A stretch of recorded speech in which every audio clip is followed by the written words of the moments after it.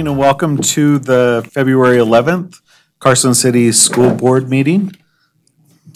First item on the agenda is adoption of the agenda. Second. So we have a motion by Dawn, second by Joe. Any discussion? Public comment? Seeing none, all those in favor? Aye. Any opposed? Motion passes. Uh, Trustee Creany, will you lead us in the flag salute? Please join. I pledge allegiance to the flag of the United States of America and to the republic for which it stands, one nation, under God, indivisible, with liberty and justice for all.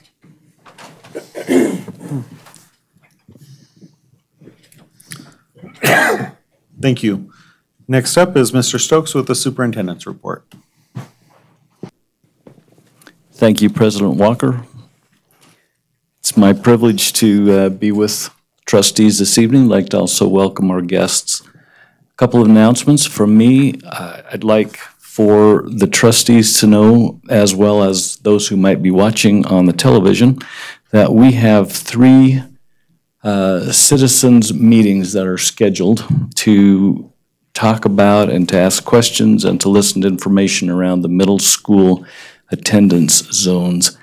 Um, If you'd permit me, we have sent out an automated phone messages, message to uh, families that reside in the Eagle Valley Middle School school zone, the Carson Middle School zone, and also the Fremont School zone.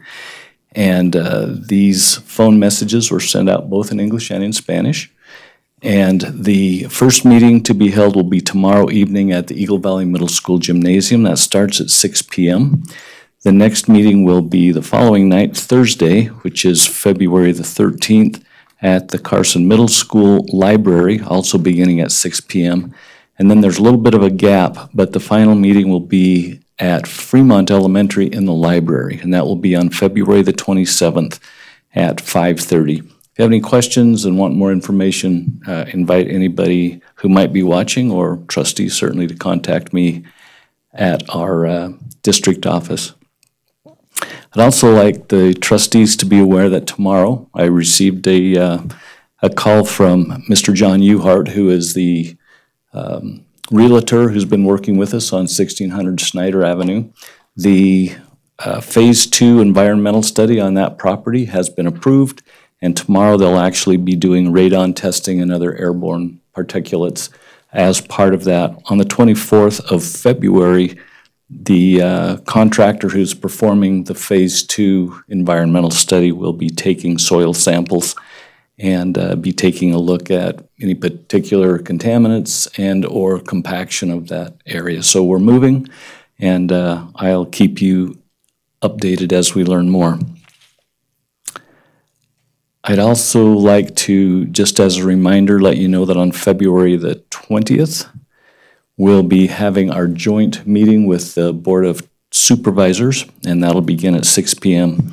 And then finally, I have received the letter that you all likely received by email, and I just wanted to let you know that I'll be following up on that. And Mr. President, that's all I have to report. Thank you. Thank you, Mr. Stokes. Uh, Next up, we have board reports, and we, this is for information only. We'll start with Abby from Pioneer High School.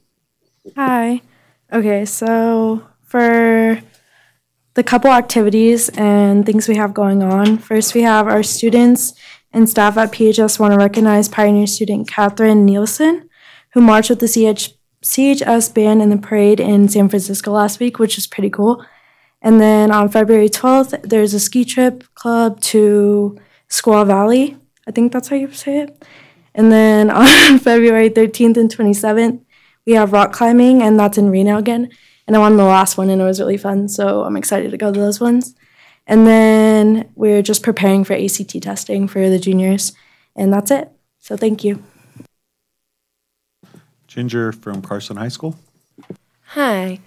Last weekend, our marching band went to San Francisco and performed in the Chinese New Year parade, and from what I heard, they did a wonderful job.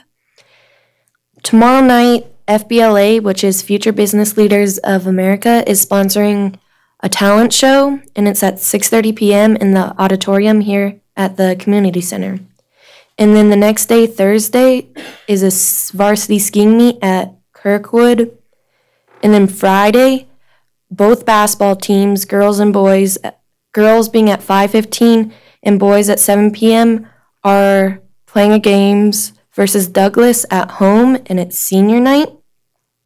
And then this week, for student council, student body officers are having elections, and next week is count class elections. And that's it. Thank you. Thank you. Stacy? Thank you. Um, Just two things. Um, We had an emergency NIAA meeting um, since we met last about the uh, F, the visas for the F4 international students. Um, It looks like they're going to, we're going to settle out of, out of court. Um, Although it's one of those cases where we really would like to fight, but it costs more than it'll be worth it. Um, and then the other thing is, we had another hearing on a three-strike athlete, and this is my second one this year. And we're talking about freshmen and sophomores that are getting three strikes in our drug and alcohol policy. And vaping is the number one reason in, in the last one that we had in Yerington.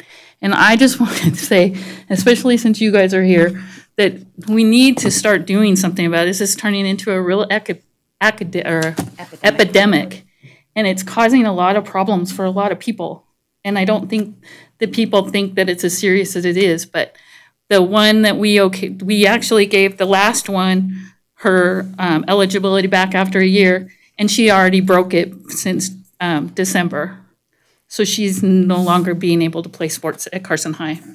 And so we'll see how this Yerington one goes. But this is the, the only the second time that we've had these three X hearings. So I really want to put out the word there, especially for athletes. You can't vape, you can't smoke, you can't drink, and you can't do drugs. We have random testing, and in Carson School District, our test, drug testing is more, we do it more than the NIAA tells us we have to do it. So just heads up there. So I really, um, really want to get that word out. And if you, you have kids and you know kids, try talking to them about it. It's just, it's not a good thing. So, and I'll probably bring up more with Mr. Clario when he gets up here about it. And uh, that's it. Laurel? Um, I think that's a good message, Oh, Stacy. sorry. Somebody missed the Parks and Rec meeting. And, and I told Jennifer that I would do this. So, on behalf of the Parks and Rec, they would like to thank you for your service, Joe, with this beautiful picture and a card and your nameplate. So I told Jennifer I would do that. I apologize that I was sick. I was late. So it's all good. Well, Laurel, maybe Stacy won't interrupt you this time. I was just going to say, I think that's really good advice to get out there um, to the kids to remind them that vaping is a serious um, offense like that. Um, for Fritsch Elementary School, they would like to recognize fourth grader Noah Isaacson because last weekend at the Computer Science Summit that the teachers went to, he went and taught the te- the technology teachers about technology. So they're really proud of the job that he did at that. Um, for Fremont Elementary School, they have their um, Apex Dance-a-thon fundraiser starting next week. And so I don't know everything that's involved with that, but that's going to be starting at Fremont.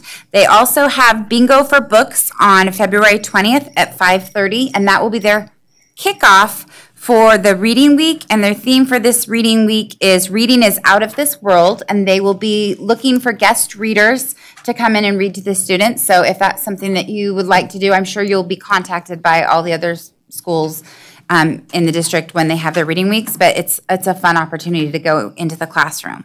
And, and also, they wanted to remind everyone that they are hosting a rezoning meeting on February 27th at 5:30. And then also, I wanted to thank um, Dr. Ward to Joseph. Last, um, the end of January 30th, she took me on a tour of Fremont and showed me some of the really great things that they've got going on in their classrooms and in the, um, oh, I'm going to forget the, the life skills class and, and just gave me a really good tour. And there's a lot of really good stuff um, going on there. And I'd like to have you guys hear a little bit more about the Power Hour that they do, where they do intervention built into the day, which is really, um, it, it seems to be working really well for them. And it was, um, it was a great tour, so I really appreciated it. So that concludes my report. Sorry, I, I get so wrapped up in listening to you guys. Dawn?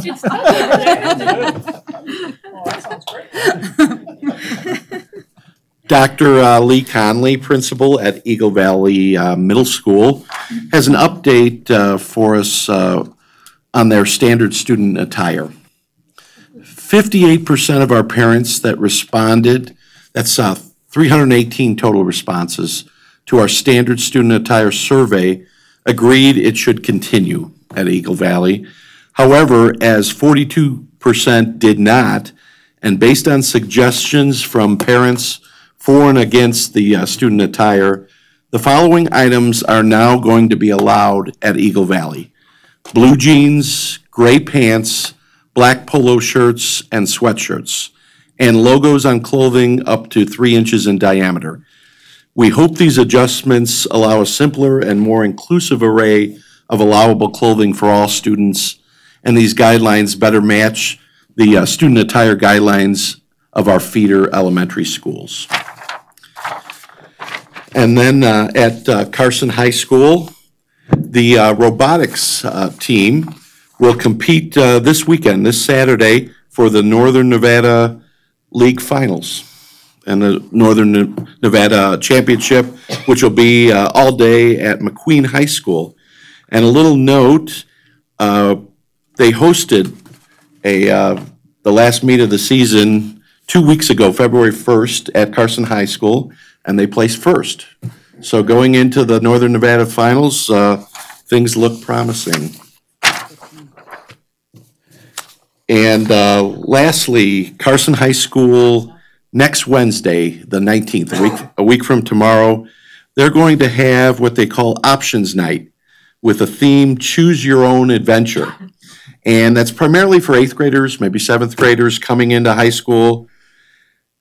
Uh, What they'll have is uh, basically the doors open at 5:30 PM. And at 6 o'clock in the gymnasium, they'll have a kind of an introduction. And then they'll broke, break into uh, sessions in the library and the two cafeterias. And they're going to be talking about uh, AP, Jumpstart programs, and CTE. So the uh, February 19th, uh, 6 o'clock, and there will also, one of the sessions will also be uh, in Spanish as well. And that's my report. Thank you. Okay, for Empire, um, I have a report from Mrs. Squires. They went to a um, Title I conference. She took eight of her members, and they um, learned that they are doing the right things at Empire, which is confirmed by their outstanding performance. Um, they have a bingo for books night on Thursday from 5 to 7. And they do have quite a bit of active clubs, which is super, exciting. They have chess club, STEM for girls, makers, uh, makerspace club, book club, a cleanup club, and then they're also collecting money for a uh, Kathy Bobber scholarship. Apparently, Kathy was a sub uh, for the Carson City School um, District for many elementary schools, and she was a positive uh, role model for the kids, and so they are. Um, collecting um, funds. Um, apparently, she passed um, away last summer. Um, if anybody is interested in uh, making a donation, they can just simply do that um, at the um, Carson City um, School Foundation. And then for Mark Twain, um, currently they are um, conducting the access uh, testing for the ESL students. And then they have the fifth grade um, leadership um, sponsoring a school-wide penny war to support patients with leukemia, which is a very nice cause. Um, penny war ends this week. Uh, PTO Jumpathon will be held during uh, special specialist class on Thursday the 13th. Valentine's Day celebration will take place this coming uh, Thursday on the 13th. And the ESL Parent Night will be held on Tuesday, the 18th. That concludes my report. Thank you. Richard? Yes, uh, for Bordewich Bray, they're having their PTA meeting uh, scheduled for Wednesday, February 12th at 3:30 in the library. Then on Tuesday, February 18th, they'll be hosting their monthly Loving Solutions Parents Class from 5:30 to 7:30 in the library. And they're also working on their standard student attire.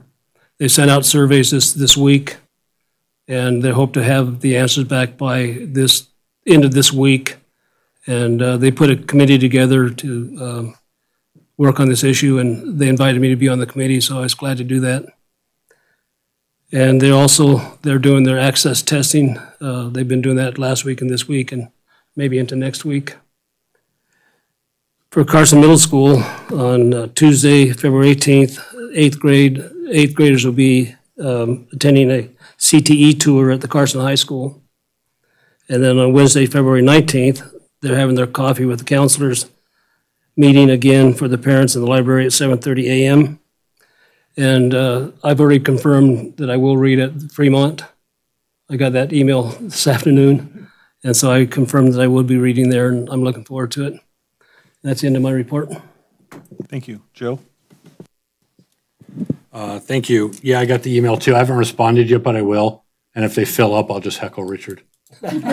You can come with me. Right, there you go. Julian read aloud. Yeah, no kidding. Um, just a couple of things at the high school. Some of the stuff I had has already been mentioned, but there is a job fair um, scheduled for Friday, February 21st from noon to three. It's going to be held at the community center here in Carson City. Um, they'll have job openings and internships available to people, and they ask that you bring your resume. So if you need a job, want a job, or want to change jobs, uh, nice opportunity. If you work for the district, don't do that. Um, Jumpstart applications are available for sophomores and juniors. Uh, They're due March 12th. Um, The prerequisite for Jumpstart is Algebra 2 or to be registered in it. Um, So if you have any questions, by all means, go to the guidance office, get your questions answered. And then just to piggyback on what um, Dawn said, options night, 219 at 5:30. You know, even if you're familiar with Jumpstart or AP or CTE, it's really worth going to and, and understanding what the current programs are all about. I've had um, three of my kids, one was on the AP track, one was on the Jumpstart track. Both did all the classes you have to do and both had great experiences. So it really is what's the best fit for your student or you if you're the student. And so I would just encourage you to go learn about it and, uh, you know, don't think you know what there is to know about it because it seems to changes every year with acceptance rates and all that stuff. And both programs are doing really well. So that's my report. Thank you, Joe. And I'd probably say on that note, you know, we're well represented because you're very knowledgeable on those options. And then also Lupe Right. has a great deal of knowledge. So parents, teachers, students, you also have some trustees who know quite a bit that could be helpful. Uh, Elementary School, on the calendar, I noticed they have Valentine's Day parties and birthday celebrations at two on Thursday in their classrooms. So I'm sure that will be an exciting day for all, and I wish all the teachers and administrators luck on that day. It's always exciting day. And the custodians. Custodians, it's really about Christmas with the glitter. That's, that's when they get it. So last week, uh, I attended the Counselor Advisory Committee. Uh, Mr. Stokes, uh, Ms. Fuson was there also, and um, we spent quite a bit of time reviewing um, the drug and, drug and alcohol policy that we adopted and revised last summer. And um, their number one issue that every site was reporting was vaping incidentally. And uh, one of the points of our discussion is, you know, how we took out where it said controlled substance to give the schools and the sites a little bit more discretionary, you know, a little bit more room to wiggle with the new and improved things that kids come up with that we might not be prepared with. And so, um, they're looking at our policy and they may come and request revisions in the, in the near future. Um, we didn't quite get to that part, but where we left, um, they were gonna meet with Ms. Fuson and, um, discuss their concerns, and so we may be hearing about that again. All right, I'll move on to association reports. Loretta?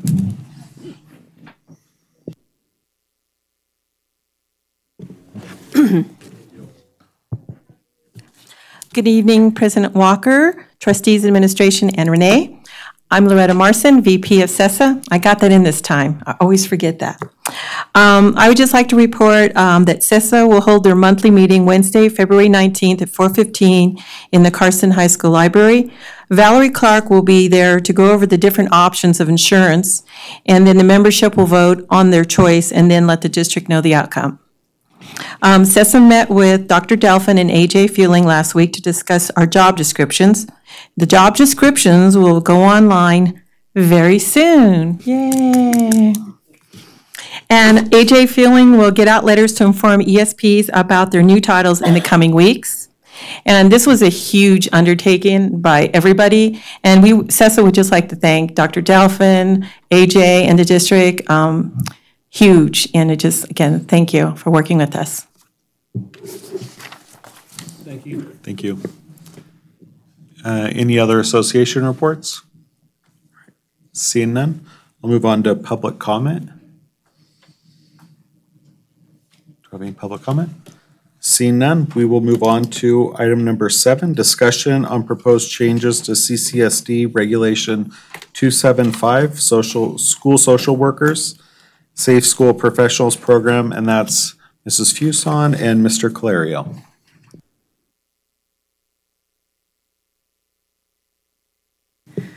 Good evening, President Walker and members of the board. I'm Tasha Fuson. Uh, For the record, uh, as you know, the original Carson City School District School Social Worker, or Safe Schools Professional Regulation 275, was approved and adopted in August of 2017. Throughout the last three years, we've had a couple revisions. And as, as of late, um, we are bringing some potential revisions to you, some suggested revisions um, in accordance with Senate Bill 319. So to talk you through what those changes are, um, I'm going to turn over the mic to Mr. Calario, who, as you all know, uh, we are contracting with to oversee our social workers in our schools. Good evening, uh, Mr. President, Mr. Vice President, members of the board, Mr. Stokes. Um, Thank you, as always, for having me. Um, This particular agenda item, as uh, Mrs. Fusons did say, that uh, that I believe this is the third time we're bringing this particular regu- uh, regulation to you. And that's a very good thing, actually, because as the program grows, uh, uh, so does uh, the need to uh, clarify and to um, enhance what we're doing and what we will be doing in the very near future. Um, this particular um, regulation change that you have in front of you, um, the, the three key changes are moving away from the term that we've used from the onset, which is Safe School Professional or SSP. A couple, uh, the main reason for that is um, that was kind of a starter because um, four years ago, when we started our program and other rural communities were starting theirs, they didn't have the luxury, if you will, of having social workers or marriage and family therapists. Many of them had what you would call community health workers, um, other bachelor's level human uh, uh, services type folks. Um, there was also a notion, um, not widespread, but the notion that, uh, well, why are you calling them safe school professionals? Are your schools not safe? And we did not certainly want to give that that impression. Um, but I think the thing that helped us, uh, SB 319 that Mrs. Fuson just spoke of, uh, that was passed in this last legislative session, actually um, uh, solidifies and addresses all the um, job duties and um, requirements not only of school social workers but school psychologists um, and school counselors as well. Um, we believe that we have are in line with that. Those are a little bit more general. Um, so we want to start using the term school social worker. Um, The other change we're making is the term school mental health worker. And a school mental health worker, um, and of our uh, 13 school, uh, uh, school social workers, uh, if you will, uh, uh, one of which is a school mental health professional and the defin, excuse me, the school mental health worker. And the definition of a school mental health worker is somebody other than uh, someone having a social work degree and license. So, uh, for example, it would be a marriage and family therapist. Uh, they don't have a social work degree, nor do they have a social work license, but they do still have a professional degree. So, we certainly wanted to indicate that.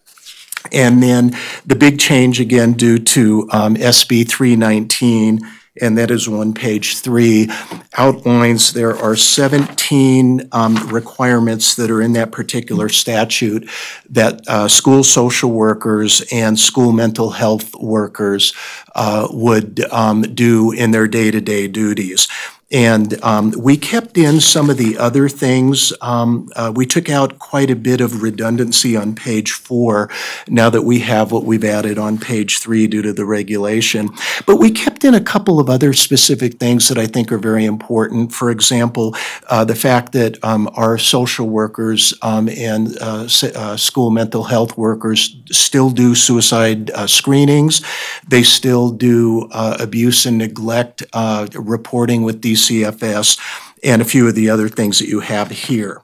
So we just thought this would be a good time to um, make these revisions in our um, regulation. And if anybody has any questions or comments, would certainly entertain those.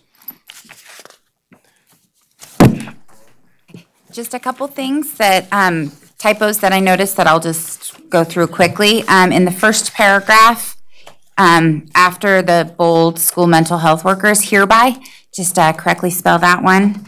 And then, um, this, uh, the second bold, the third bold paragraph that starts with SSW, um, it- the MSHWs are plural with an S, so I'd, I'd make it plural that SSWs must possess as well. Um, and then on page four, the very last paragraph, um, all SSWs and SS, SMHWs must adhere to district. I don't think you need a comma after district before requirements, including, so I think you could delete that comma, district requirements, make it complete. And then the very last sentence just needs a period. Um, on it, on the very last, on page five, the very last sentence. Um, and then, just a question I had back on page one, where we define what a school social worker is, and then list who's eligible to be employed as one, and then we jump to the, um, school mental health workers, would it be help, I think it'd be helpful to spell that out again, just like we did for that. But I'm also wondering if it would be, wouldn't be helpful to have a definition of what a school mental health worker is, so that there's parallel between the two, um, sections there. Thank you. Very, very helpful comments. Thank you. Any other comments, suggestions? No? Thank you. I guess I do, I'm sorry. Oh, trustee Varner. On the last page, um, I'm just wondering, uh, comply with all district safety and security rules, including but limited to site registration, sign-in, et cetera, et cetera. I wonder if we could shorten that up and just say, uh, comply with all district policies, regulations, in- you know, including, if you wanted, something like that, Okay. including the safety and security rules. And then, uh, I, I know you gotta have a lot of acronyms, but there's a lot of abbreviations throughout both these, uh, the regulation and policy that was kind of distracting when I read it. But I don't know if there's any way to change, change that because I know that a lot of acronyms. Okay. I'll talk more about that when we get to the next page, I mean, the next, uh,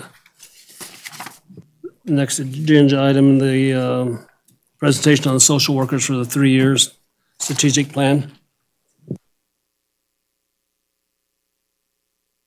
All right, anything else for item number seven? All right, we'll move on to item eight, presentation of CCSD social workers three-year strategic plan to include data collection on suicide prevention, screening, and referrals for the first semester of the 2019-20 school year in accordance with Assembly Bill 114, AB 114. Discussion only. Again, good evening. Tasha Fuson for the record. Um, Kind of in being parallel with what we did earlier this year with our counselors, um, when we changed the, the district regulation to reflect their updated duties. And now, again, the changes uh, suggested for 275 to update our social workers. In addition to that, um, Mr. Calario has been working closely with our school social workers to really kind of lay out and define a, a three-year plan for things that they would like to accomplish within our district.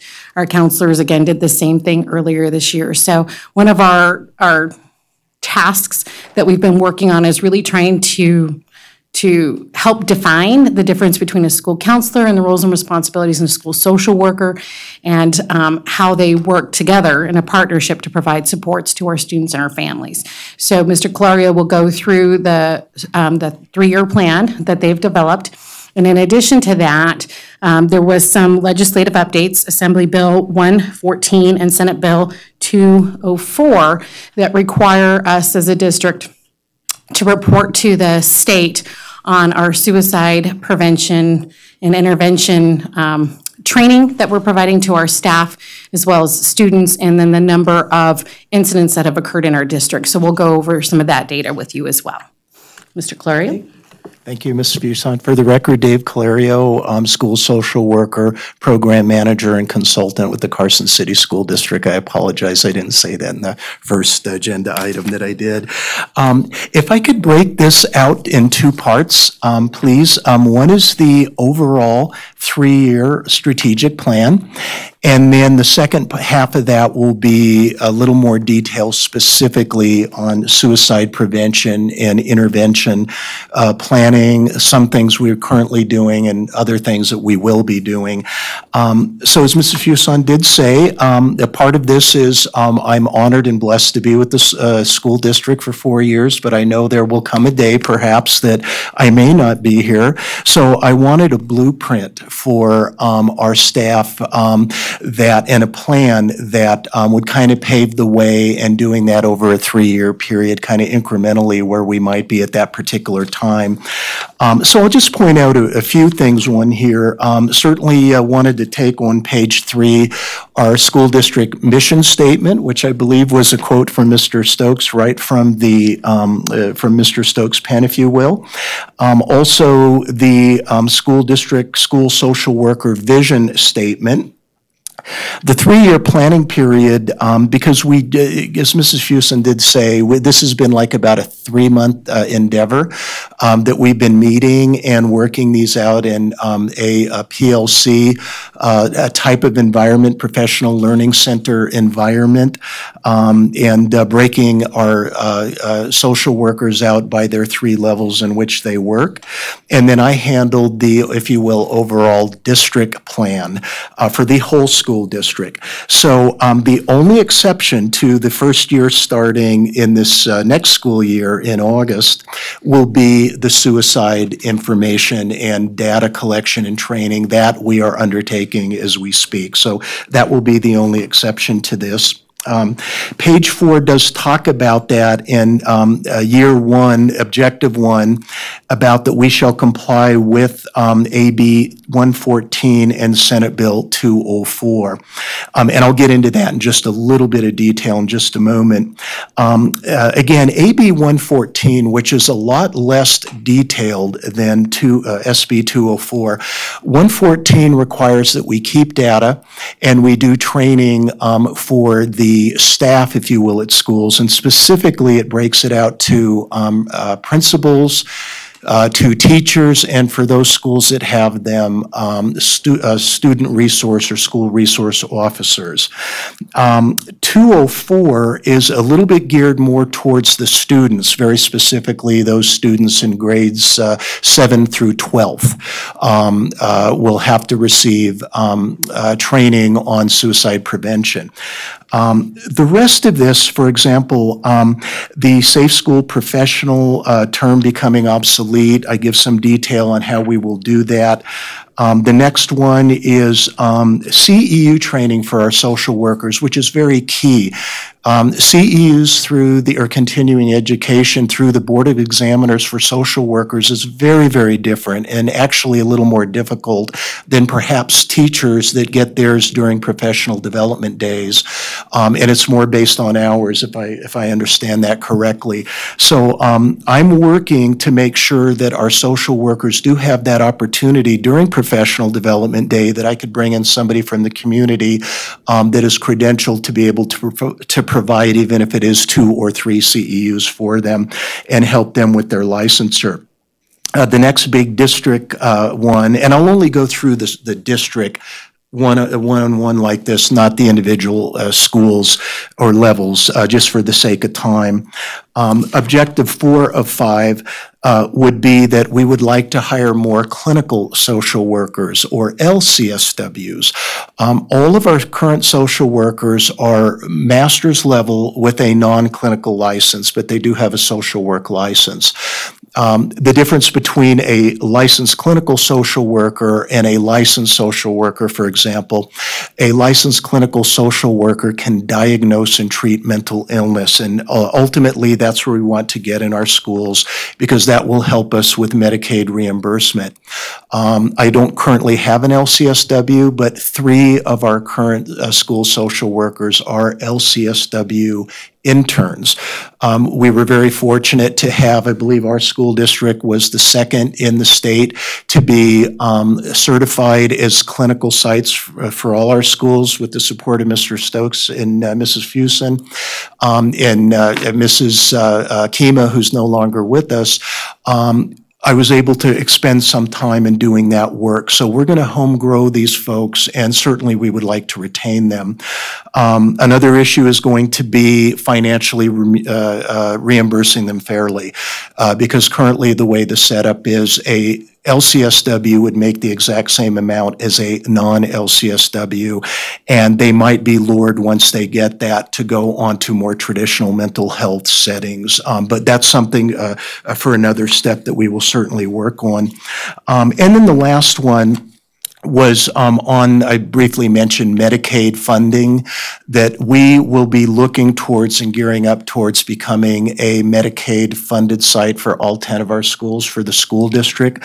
We still have infrastructure to do. Um, We have funding uh, needs and infrastructure needs. Uh, For example, um, I had submitted to Mr. Stokes and Mrs. Fuson a, uh, I would want to say humbly, kind of a a comprehensive, detailed report on my findings and recommendations. Um, I followed Medicaid. Um, I was their uh, mental health uh, statewide coordinator in the 90s and early 2000s.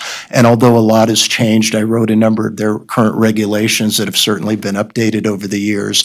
Um, But Medicaid requirements are very complex, they're very comprehensive, and we would have to, for example, hire a part-time medical director, which would be a PA, uh, uh, MD psychiatrist, could be under contract. We'd need at least, at least a half-time LCSW to administer the program, who would have to sign off on care plans, who would have to assure that prior authorization and continuing stay authorization are met. Um, We definitely want to do this, and we need to do it, but we don't have the infrastructure right now, but hopefully we'll, we'll work towards that. And that's a little bit what Objective Five talks about. And then the rest of this first half or part of, of this presentation, uh, the next few pages gets into um, uh, objectives and strategies to meet those objectives at each of the three levels, elementary, middle, and high school. And um, you will find a lot of consistency in all three, for example, addressing chronic absenteeism. Um, Not just addressing the absenteeism, but the behaviors that lead to that, and primarily with the parents. So um, we have a few that are specific uh, to levels and some that are not. Um, If folks can get these done earlier than the, for example, the second or third year into the first, that would be welcome. But this again is a blueprint and it's guidance for, for our social workers moving forward. So I just kind of wanted to go over the, and uh, give you kind of a general overview of this 12-page strategic plan. We've never had one. Um, we would appreciate, you know, any comments or suggestions, and even if you didn't have them right this moment to digest, you may, um, to certainly let us know. But um, I allowed the social workers largely um, in their schools to help devise those at their levels and with some coaching and, and mentoring that way, just so you know. So any questions on this in general, and then I'll get into the meat of this, which is the suicide-related information. So we'll go Laurel and then Richard. I, I do have a couple of questions. Um, couple things I wanted to point out. Page four, objective two, the second to last sentence where you've got endorsed school mental health workers, just capitalize the H on health. Um, and then a question on page seven for the objective with the SISP on, under objective one. I just didn't know what SISP, that acronym was, because it hadn't been defined in the strategic plan. And then later on in the same section, there's SSPs again, and I'm guessing that may be a holdover from the former um, so it's 1.1 and 1.3 and 2.1 have SSPs in there. So that's what I was thinking that might be Thank you. something. Um, a- and then again, page uh, eight, the SISP under 4.2, I just, I, I don't know what that acronym means. Um, and then page 10, objective four, 4.2, consistently monitor attendance data to inform tired interventions. I'm sure they're tired of monitoring attendance, but I'm thinking it's probably tiered Tiered. there. So um, that was the one that I caught there. Then I just have a question on year two with the objective. um, That there be at least one licensed social, clinical social worker in each of the three school levels. Um, Is that for every school or is it just like one for each level? And I guess my question to that is, how does that fit within our budget concerns? Um, and what if we lose grant funding for this position? Because that, that kind of has me a little bit concerned. Thank you for those questions. Um, And you are correct. The, the grant funding is uh, every two years. Um, This is currently the uh, second year of that, so um, we would look towards uh, uh, funding from the Department of Education, but you're absolutely right, and that gets back to the importance of Medicaid funding uh, sooner than later to kind of homegrow and um, to, from within, um, uh, have that, that as a resource. The LCSW, we, we have several options with that, and that would again assume that the three that are currently interns would have their LCSWs. One would be one year from now. The other two, I believe, would be in approximately 18 months. They have to have 2,500 clinical hours total. Um, I, don't think it would be meant to be in each school because then we would, we would probably have to double our number of uh, school social workers from the current 14 um, to allow that to happen. So the thought was at the very least, at the very least, if we had three or four and had at least one in each level, uh, The administration would need to decide whether that person would rotate in those, um, uh, in those levels. Uh, Clinical work is maybe about a third of what social workers do in schools. So we're not saying we want to turn our schools totally into mental health centers. So, but two-thirds of the work uh, social workers do are truly non-clinical. Um, Another option could be to put those that all they want to do is see maybe eight to 10 students a day, and they don't want to do anything else with supportive administration. Another option could be to put them in our school-based health centers. Um, and they would see, uh, uh, you know, uh, students and families that way. Um, so there are a couple of options, not real, real specific to that, um, that, that we would have to work with. Um, but hopefully first get them to get their LCSWs and that uh, they would stay with us and give us some of those options. And we would certainly, obviously, be interested, i- w- once we bring this to you, to what your thoughts might be, kind of where our resources at or the time and, and what they're able to do. Yeah. I think it's important to note, too, that this is simply an internal document. This isn't a document that's required by the state or even as part of our grant. It's, it's simply a document and a plan that our, our school social workers um, and Mr. Colario got together and put together to kind of drive the work that they're doing within our district so that they themselves would have a direction and some accountability and um, some goals that we're, we're setting forth so that we can support our schools and um, and their school performance planning. So that was one of the pieces that um, when we planned and discussed about what this would look like, making it very important that um, our school social workers were meeting with and um, discussing their plans with their um, site principals to make sure that they um, went hand in hand with what the site principals were doing um, and what the site leadership teams were doing in terms of developing their school performance plans. Very good. Yeah. And Mrs. Crossman, just so you know, and thank you for like that acronym, uh, SISP is Specialized Instructional Support Personnel. It's essentially anyone other than a teacher or an administrator in a school. So for example, it would be school social worker, school counselors, school nurses, school uh, psychologists. So thank you. I will make sure to spell that out. Thank you. Any other questions or comments, uh, Mr. Varner? I thought law enforcement had a lot of acronyms, but after reading this document, I'm not so sure. Um, I'm wondering on page four, objective number one, you have the Carson City School District. And I'm wondering if we should, in parentheses, put CCSD, com, uh, parentheses, because you refer to it as CCSD throughout some of the other places in, in the document. Okay. And then on page five, objective four point one. It's on this uh, qualified LCSWs will be interviewed and if appropriated, should it be a if appropriate Appropriate. Mm-hmm. for the position hired?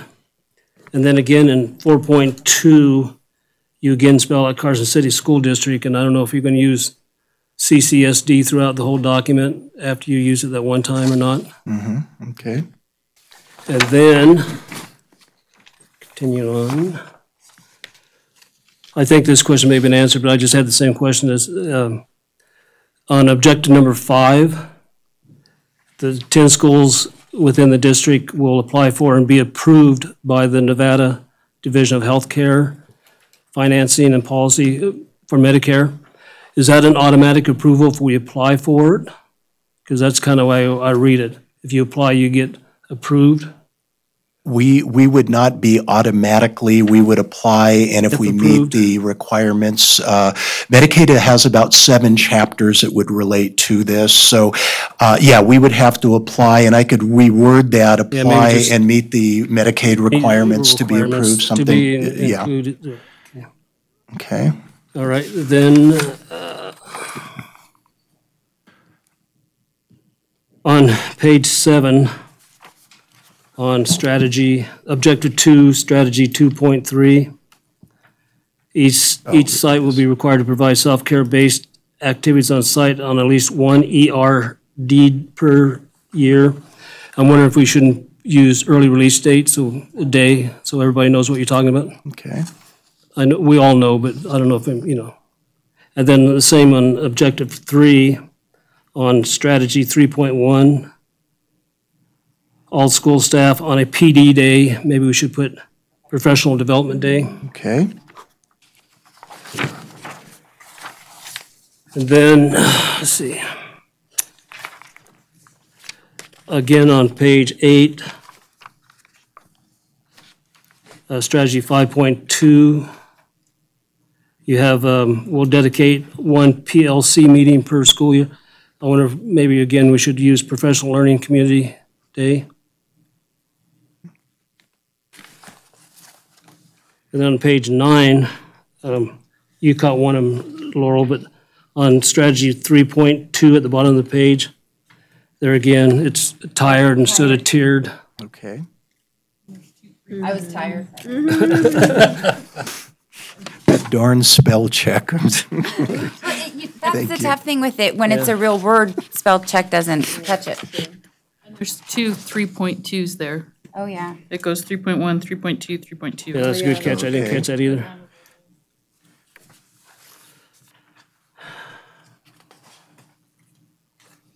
And I'm just curious, too, on page eight, objective number four, develop a standardized set of policies and regulations for chronic absenteeism at the elementary school level. Are we gonna do that for the middle school and the high school too, right? Yes, they do have um, Is uh, something in there as well. Yeah, I um, thought both- they yeah. did, so. Yeah, all three schools, what we, tr- or excuse me, levels, what we tried to do is keep it consistent. Uh, Mrs. Fuson wanted, uh, which I wholeheartedly agree, consistency amongst the levels. Um, So each, of the, um, I believe restorative practice and um, chronic absenteeism was most consistent amongst all three levels, just slightly taking different approaches, so.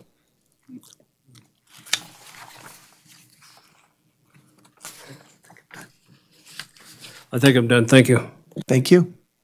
Mr. Clario, I would say, you know, this is really important work, and I think the document shows you guys are putting a lot of work into it, but one of the takeaways I had is just with all the acronyms, it takes away from the communicating what the point is, and I think that some of those, like when you have those bulleted lists, you don't necessarily have to list the acronym of who's gonna do what, because a lot of those, it's pretty well assumed who's gonna do what.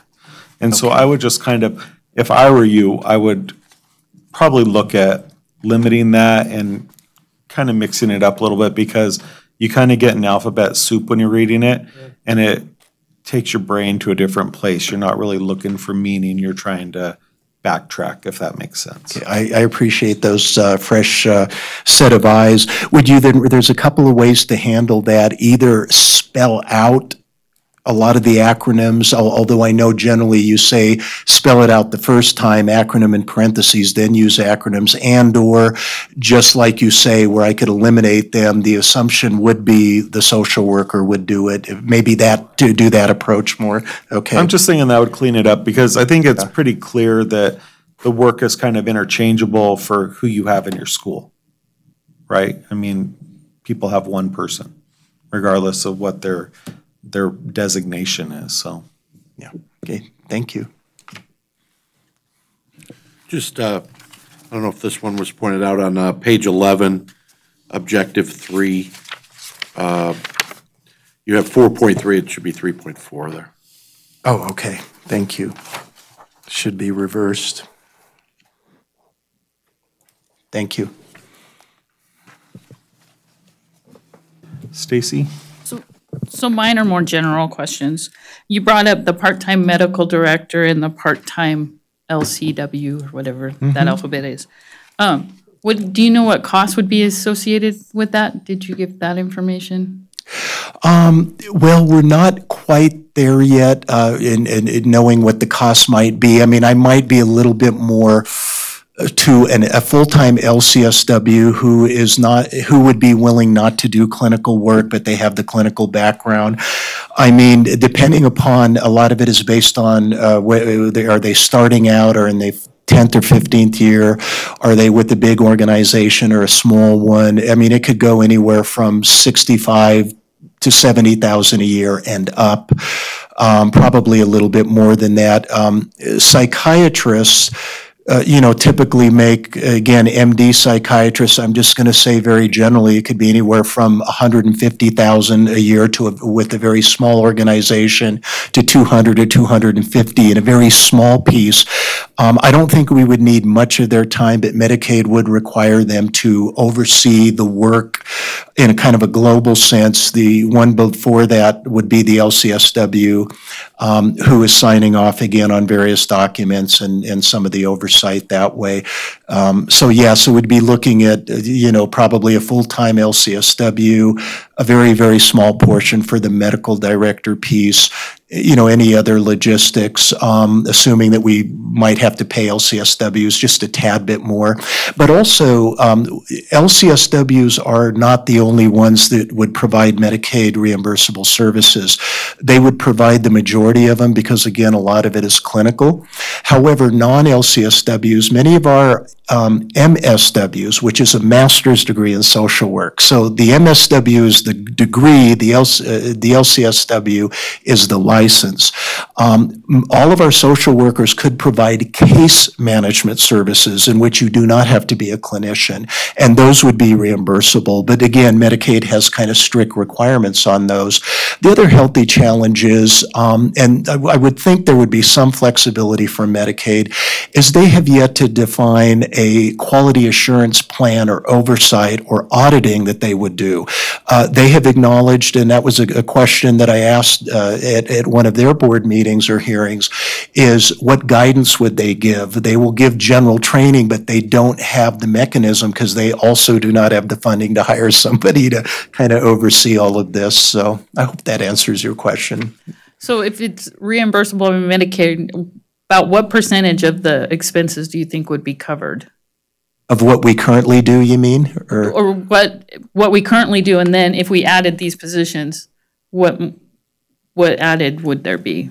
Well, if we, if we built up to the, uh, what I'd call the um, infrastructure, both uh, financially and um, just structurally, either use staff we have or, or, or I would say right now, the majority of what is covered case management, we would probably be okay with. Um, if we included the, clini- the clinical part, Medicaid covers 10 clinical parts. That would be, again, that would be, for example, the clinical assessment. It would be diagnosing. It would be a psychometric where it's more of a screening, but a little more, uh, a psychometric leads to a clinical assessment, leads to the care plan, leads to the documentation. We would also have to make relatively significant tweaks with documentation, how we document, um, how we do some of the services to comply with Medicaid's requirements. So it, would be hard until we really have Medicaid's QA in place to see exactly what they want.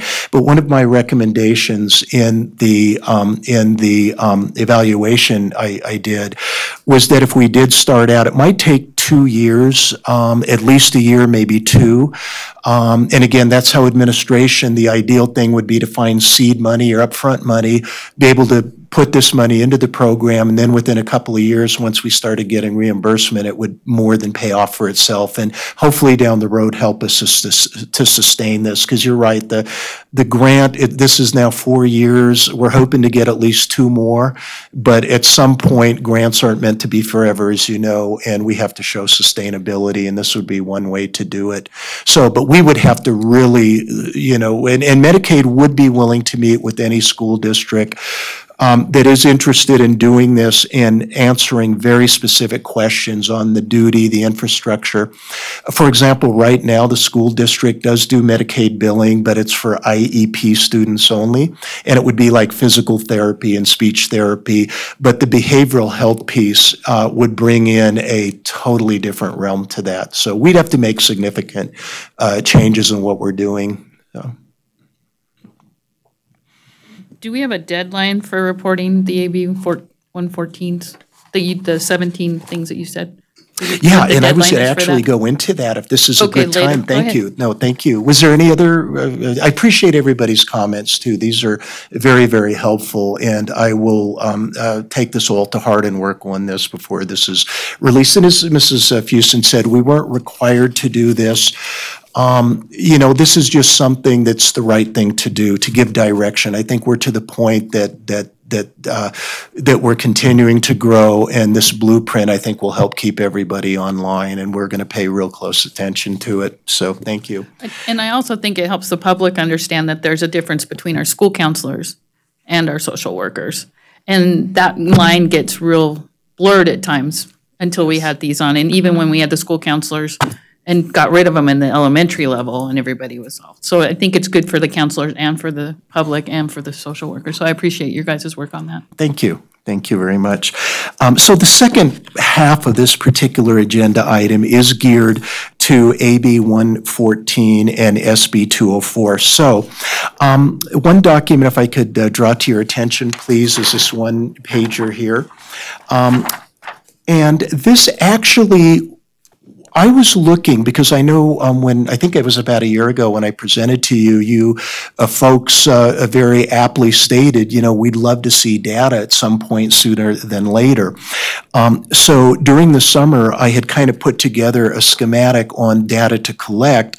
But then when it was um, not only confirmed um, by legislature and in statute, but also it, it confirmed what exactly is needed. So I think we're pretty much covering everything. What we would have done had AB 114 not been passed. Um, but I think it's a nice complement. So for example, AB 114 requires us specifically to document three things.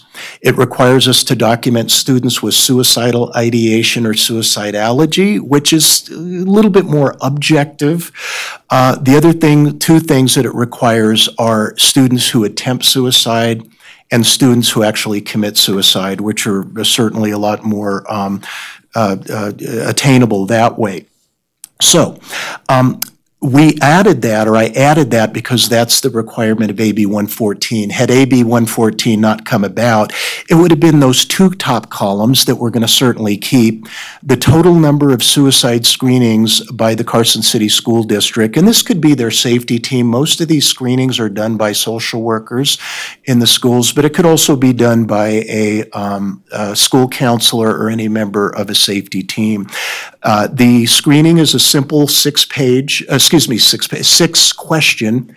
Uh, uh, if a social worker, teacher, if somebody feels the student might be exhibiting suicidal behavior, either something they outright said, I'm going to kill myself, or more indirect things, my family might be better off without me, um, you know, uh, uh, I have nothing to live for, those kind of things. Where the social worker or the safety member of the school is going to do the screening. From that, based on certain questions that are answered yes, if after that screening the social worker or the safety team member feels, yes, my, my fears are confirmed, I think they may be in fact suicidal, then we refer it to a community partner. And most often, and, and I give the breakout the acronyms here for you, uh, uh, Carson Tahoe Behavioral Health, for example, um, and then um, the other on this list by breakout of school is individual therapists that are kind of joining in and, and working with us that way. And this, by the way, no matter who does this, it's no cost to us. If this, the family has insurance, they'll go ahead and bill that. But this is a community service for us, so I think it's a huge uh, community endeavor. Um, the clinical suicide risk assessment is something our staff do not do. It usually takes an LCSW uh, or a PhD psychologist. They both have the same rights at what they can do. And they will diagnose the student for um, uh, a clinical suicide risk assessment. And as you could see, approximately one third of all the general screenings are referred for a clinical suicide risk assessment. Now, that number, as we speak right now, um, we're defining suicidal ideation by the referral to the community partner that actually does this, the assessment. Um, however, there have been a few other instances that uh, that a referral to a community partner wasn't needed. That this child was um, acutely suicidal, homicidal or danger to self to others, and that's key criteria to be admitted into an inpatient psychiatric hospital. So if they needed to go, they needed to go. So I am working out um, with the definition of suicidal ideation with our staff, and I'm starting with our, our Carson High School uh, because uh, they have done, as you could see, uh, both they and uh, Carson Middle School uh, uh, by far and away have had the most of these screenings. So that's AB 114, and we're collecting this data on a quarterly basis. Um, I am responsible for doing that. I have a spreadsheet that I send to the social workers. I require their quarterly report to be due by the 10th of the following month. So for example, by April 10th, I'm going to get the first quarter, which is April, uh, which is January, February, and March, so on and so forth. Um, Then I compile a report and a list, and then that goes to our administration um, that we could keep monitoring this. And this is the first time we've actually formally done this. So August 19th was the first day of school, and then the last quarter we did was December 31st. AB 114, one last thing I'll say in it. This is a key part of how we have to comply. And the report, I believe, is due by March 13th. Uh, It was at the report? March report? 14th. or Oh, March March 14th, yeah. So, um, uh, it- but I think the fact that we're, we're hopefully at or a little bit ahead of the game, that, that, the, the hope is that the Department of, uh, uh, de- uh, the Department of Education will be appreciative of these efforts that we're making, and I've had feedback that they are. The other key component of 114 is the training that I mentioned. Um, And that, again, has to be provided to those three disciplines specifically in the schools, teachers, site administrators, and if they have them, um, the uh, school resource officers. As we speak, as we speak, I am currently working on a curricula for that. Um, We're looking at putting that in a PowerPoint and putting that on our um, e-learning portal, which um, our staff could go online to do that. I'm working very closely with Mrs. Ann Sear, who's our um, Director of Risk Management. Uh, We would include at least maybe one or two videos on that particular curricula, as well as maybe a test or exam or quiz, just so folks are kind of following through with that. Um, So um, my commitment, and we're also looking at existing modules um, which are good, but um, I want to make sure that a big part of this training will be our Regulation 270, which is our Carson City School District, um, suicide prevention, intervention, and postvention. That's going to be interwove into this curriculum no matter what we use. And my commitment, knowing that also with that date looming, about five weeks, is to have this to Mrs. Sear by the end of this week. I spent a fair amount of today working on it, and probably am about three quarters through it. So that, in a nutshell, is AB 114's requirements. Any questions or comments to that? So one thing I want to also um, inform you of is that we did not receive um, the reporting format from the Department of Ed until last week. So it came in last week. That's why it's not on that form. Um, And luckily, uh, we did have the foresight, I guess, if you will, to start collecting data. And we did meet with our suicide intervention prevention team uh, to take a look at both of these bills and to, to review our current policy and regulation to make sure it was um, current and in alignment with those two bills. And then also to, again, discuss how we'd start at least collecting some of this information. We were waiting on the state to develop the training for staff. Um, They have not developed that as of yet, so that's why we're developing our own. And then when we received notice last week um, that here's the form that you have to report on, and it's due by March 13th. Um, Needless to say, we were a little surprised. I did call um, our uh, Department of Ed folks and asked for clarification on that because the way that we read the bill was that we would be reporting on the incidents for this entire school year. And of course, my, my question was, how can we report on incidents for the entire school year if you want the report on March 14th? Um, So what we decided to do in terms of consistency is to simply report on first semester. We're going to collect second semester data. We can send an amended, um, report to the Department of Education. They do have to report to the legislative body, so that's where they're trying to collect their information. So, um, next, during the next school board meeting, you will have this information on the actual, um, paperwork that we're going to submit to the state, so you'll see it all together. Um, As um, Mr. Clario was stated, there's two different bills. So the, the bill that refers to student training, which is the Senate Bill 204. Um, We are working with our sites on this one as well. So currently, within our high schools, students are provided signs of suicide um, training. Uh, It is, is given to all ninth graders at Carson High School. Pioneer High School did the training with all of their students. Um, And the two middle schools, they're providing that to their sixth graders.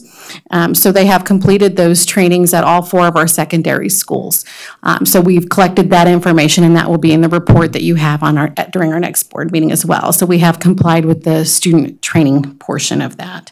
And we're choosing to use the signs of suicide um, uh, curriculum and training, simply because that's what we've used in the past years, and also um, what the Department of Education, uh, Department of Oh, oh, Office of Suicide Prevention, is that the, um, Amber Reed's group. oh, oh, uh, the- let's see, the Office of a Safe and Respectful Learning Environment. That was, that was the program that they were suggesting and supporting as we rolled this out in our district. So that's what we've provided to our students thus far. Thank you. I think I'll speak for all of us and say that this is something that we're all concerned about, and for whatever reason in society, youth are kind of looking at this as an option, which it shouldn't be. So it's important work, it's unfortunate work, and so thank you and everybody who's on the front lines dealing with this. So we appreciate you. Okay, thank you. Any other questions or comments on AB 114 or SB 204? I think you we're good. identified and outlined that very well, that one. Thank you. Thank you. Good. Great, thank you. Next item on the agenda is item nine, discussion and possible action to approve the renewal of the contract of employment as superintendent of schools with Richard Stokes for the period of July first, twenty twenty through June thirtieth, twenty twenty-two, increasing a salary to hundred seventy-three thousand, one hundred eighty-nine dollars per year, beginning July 1, 2020, And this is for possible action. So I guess I'll start. Um, Mr. Stokes had requested uh, or offered to stay on an additional two years um, at the end of his contract um, to kind of help get us through the bumpy waters ahead. And uh, Mr. Cacioppo and I met with him and Mike Pavlakis last week.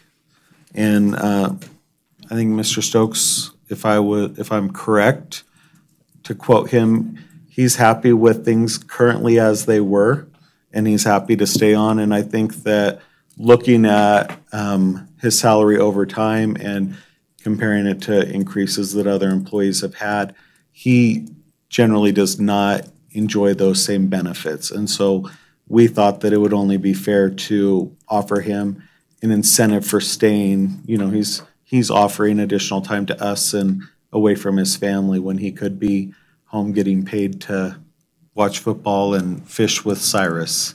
So um, that's kind of the salary increase. I just want to say was um, Joe and I really looking at things and kind of thinking that as a board, we needed to reward him for his hard work and certainly his superb leadership of our district.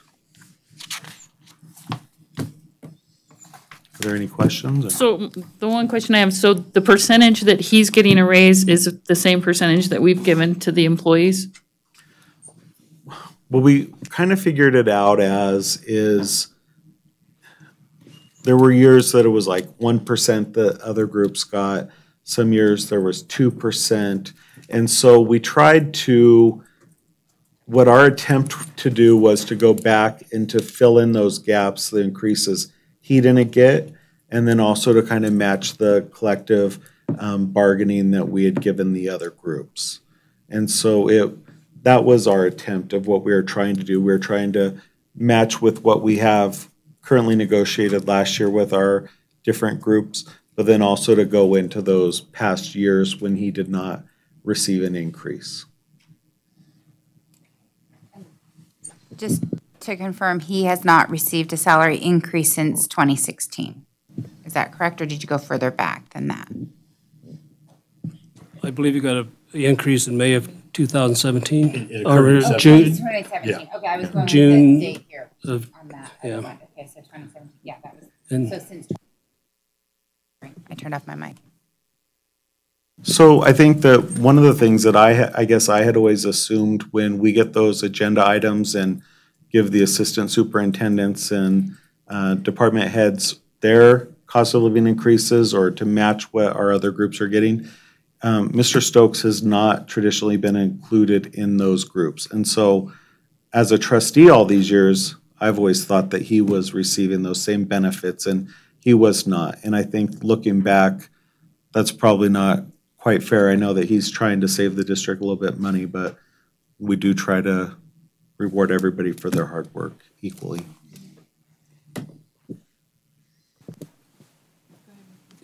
Yeah, I have a few, a few things. Um, When this first came out and hit the agenda, I got several phone calls from uh, different people that were a little bit upset uh, because it looked like um, the contract that was used was a 17 contract, and it looked like uh, he was in, uh, Mr. Stokes was in for a $32,000 a year raise, which is not accurate, and I want the public to know that. Uh, He's currently making 160,000, if I'm not mistaken. And so that would be a 8.2% raise to 173,000. I truly believe that uh, you've been a valuable asset, and we're glad, that I'm glad you're going to stay. But I would like to just put out there that, uh, you know, the classified staff and the certified staff, they received a 2% raise per year. You last received your raise in June or July probably of 2017, a $19,000 pay raise. I think that uh, we ought to give some consideration to sticking with the 2% for the last two years as what we've given the classified and certified staff. And so I think that we ought to maybe give some consideration to that. And at a 4% raise, if you go back the last two years, that'd be about a $6,400 a year pay raise versus a $13,000 pay raise. So I wanted to throw that out to the board's consideration and discussion. Trustee discussion. Varner, I'm wondering, so then when you look at those past two years that he didn't receive those, but then we've also negotiated two percent increases going forward for all of the groups, which he has not benefited from. And so that's what, his contract is a little different from our other negotiated agreements. And so we want to look at that. That's, it's kind of a hard thing to do because we're trying to be fair, compensate him for the work, which it's an impossible job. I mean, I know we all go to umpteen events and he's at every single one of them. And um, so we're trying to be, to fill in that gap that he didn't get those past years, but then also looking forward for what everybody else is going to be getting as we move forward. Right, and we understand that, but it has to be explained because the way that it's out there with, we have, the first news thing that comes out is we have a two point six um, million dollar deficit. And then the next news thing is, is we're giving, that Mr. Stokes is staying and he's getting a raise. It, it, we're just trying to look very transparent. And we have all said, year after year, Mr. Stokes, that you're at everything, and we appreciate your hard work, and, and, um, one of the reasons I ran is because we thought you were gonna retire, and I wanted to be here when we did the superintendent search, so, um, I'm not saying that we're, that we're against it, I'm just saying I just wanted some transparency to let people know how exactly you guys came up with that number and what had transpired, because it makes it look like, well, we're gonna give this, but now we're gonna go cut this program. And I know that that's not the, the, the look that Mr. Stokes wants either, because he's taken cuts at times, or hasn't taken the raise, like in 2017, it was gonna be greater, and he wouldn't take it at that time because of the financials. So I, I think it's well-deserved.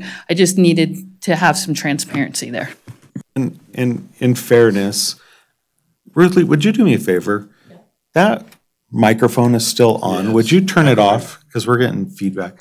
In fairness, Mr. Stokes is a very humble man and he asked, he didn't ask for an increase, but Joe and I representing the board had thought that it was fair to try to bring, bring him the same benefits we had negotiated for others. And so I don't think that he's sitting over there saying, if I don't get an increase, I'm walking out that door. I mean, this is Joe and I, we were on our own trying to figure out how to make it equitable as much as possible, and there's not a lot of information. And as a board member, we appreciate that.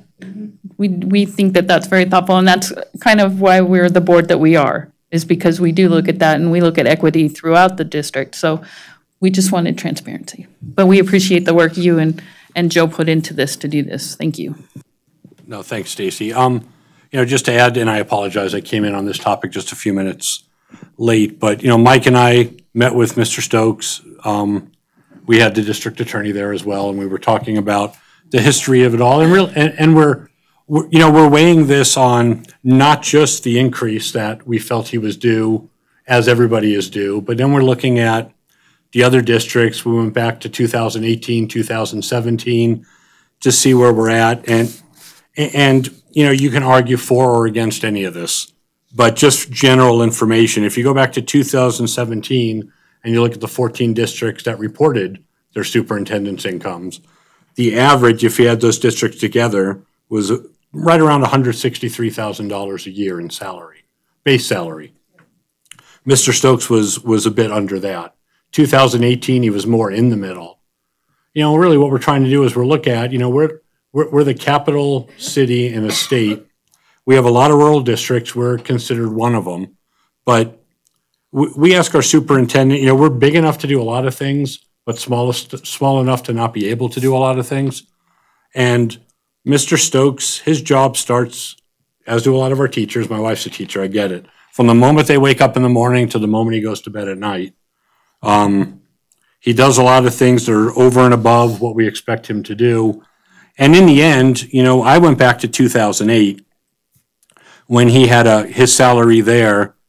He had a salary negotiated. He went four years before his next contract, 2012, still didn't take a salary increase. Four years later, we finally bumped him up. The man went eight years without a salary increase. Then we bumped him up. Then it, and then we get to where we are now. In 2017, he's at the salary he's at now. Hasn't had an increase since then. And now what we're trying to do is bump it up. And we really shot for 2%. When you do the math and look at it, when you add everything in, it came out a little above 2%. But it wasn't like we're trying to give them a, you know, a huge raise. It was incrementally a little over 2% a year. Did you, I I was going to say, did you do it cumulative, the 2% It was a cumulative? 2% it does end up being more than 6% Correct. this? And when you do it that way, you know, two percent from this year to next year, yeah, it's a running, it's an, it, it's a, you know, it's a cumulative total that gets you to where we are now. And as we found out with the searching for the executive director for NASB, that that salary there is going to be very important to the type of people that we're going to get in here for his replacement too. So I think it's really strong feeling to show that our board is supporting our superintendent. So I do appreciate that too.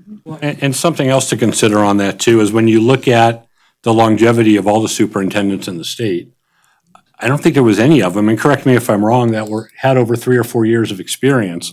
Mr. Stokes has been a superintendent for 12 years. Probably one of the Longest Yeah, ones. and there's still several superintendents in the state that make more than he does, and he's by far the most tenured superintendent we have. Um, so I think, you know, when you look at that, you look at other perks some superintendents get, like some get vehicles. He still drives his van around to check the snow totals. Um, so, you know, he is, he is a humble person. He did not ask for much. We, we kind of took it upon ourselves to say, we think this would be fair. And, uh, you know, I don't think it's perfect, but I think it's, it's justifiable. And I know there could be some people out there saying, well, hey, I think that might be a little more than, than I made or my group made. And depending on how you break it down, whether or not you're looking at PERS, it, it could be a little bit less, certainly less than a percent. But it's, um, you know, we felt it was justifiable, given what he does and where he's been and what he's contributed. Well, and, and Stacy, we did, part of our discussion um, with Mr. Stokes was also in the fact that with only a two-year plan, we are looking towards success. And we're afraid that not to compensate him fairly for what he's doing, that's gonna eliminate some people from even looking at our district. And we're, we're going to want a talented superintendent in two years to kind of take the helm and we need to make sure that we're looking forward in that respect as well.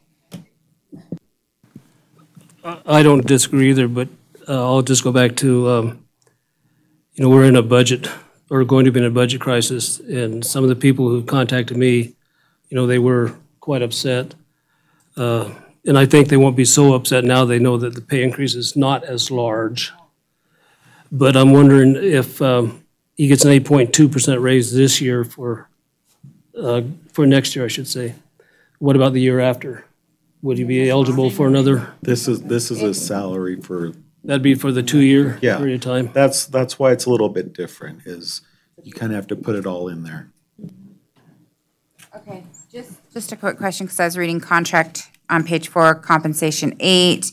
Um, A, it's hundred and seventy-three, one eighty-nine, and then B says for the twenty twenty-one, or the 2021, 2022. I feel like I'm saying too many twenties there. Um, that he'll be paid the annual base salary, and it'll be increased the same percentage as the annual base salary of the super. So will, I guess my question is, we're raising it for this, which in my opinion, in my mind is, is making up for, if we raise it to the one seventy-three, that makes up for the three years that there wasn't. And then for the next contract year, it goes up the same as the administr, as administrators increase? That's what we put in there so that he, we didn't get into the same situation Just where where- everybody in the district is getting one thing Okay. except for the superintendent. And, and I think that that, thank you, I think that that's the important thing to realize is that um, the superintendent's contract is separate than all of the other employees, and so he does not receive those. But because of the nature of our work and his work, it's not something that we bring his contract up for renewal every year to adjust him with raises. So, um, I, so I'm, I'm agreeable to this. I, I, for all the reasons um, that you guys have set forth, I think it's important that we um, compensate him not only for the tremendously successful job he does for us, but also to um, maintain our competitiveness when we're looking at um, hiring a replacement and um, to realize his level of expertise and experience is significantly greater than the vast majority of superintendents in the state. You know, it, it's, it's related but unrelated to this. You know, when you look back when we redid the salary structure, you know, and we had where we bumped up the starting salary in the district to be competitive to forty thousand dollars a year. That was a considerable jump, considerable jump for some. Others kind of missed that boat. And there was some contention there as well. And it's, it, it's challenging to, to make everybody happy.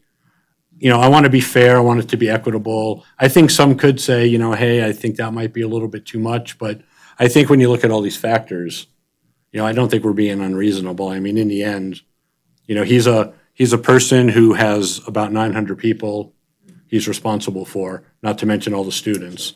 And, and the guy gets less than a three percent raise a year.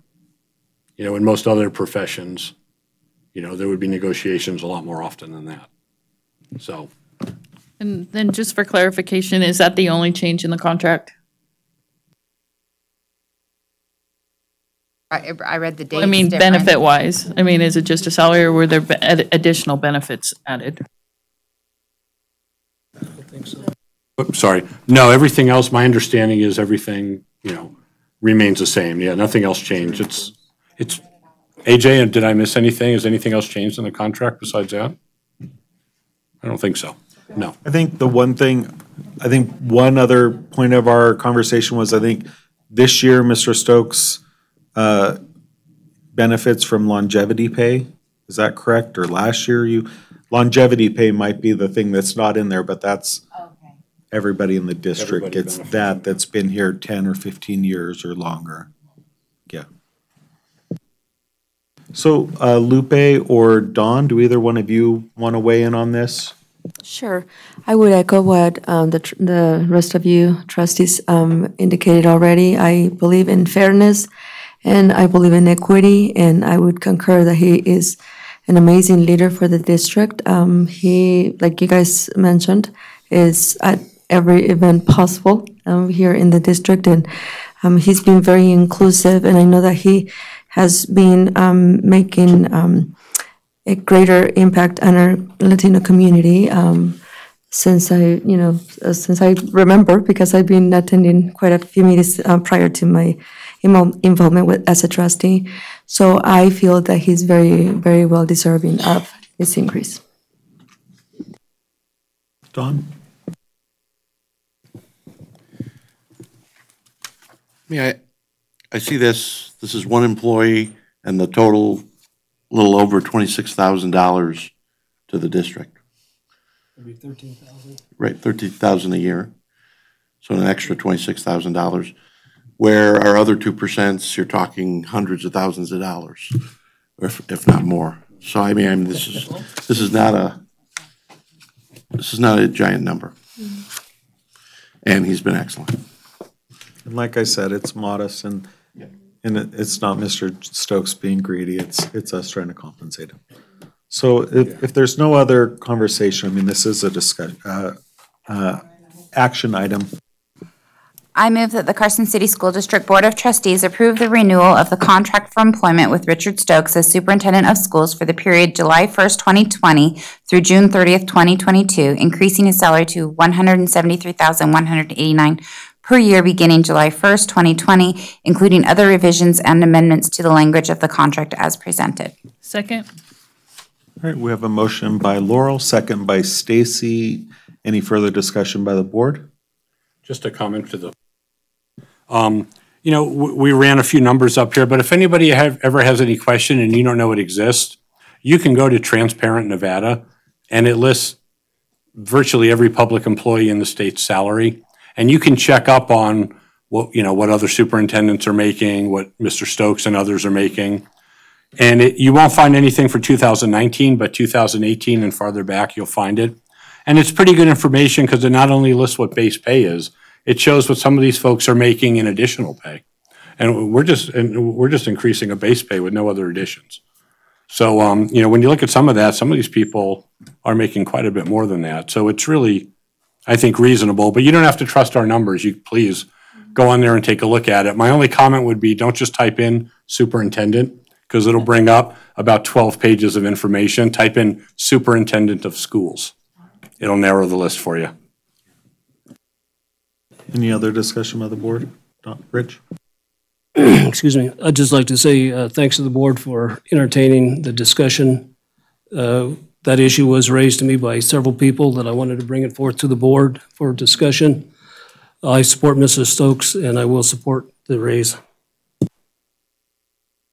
Thank you, and takes, takes a little bit of bravery to ask those tough questions, Richard, so thank you for doing so. But it's important.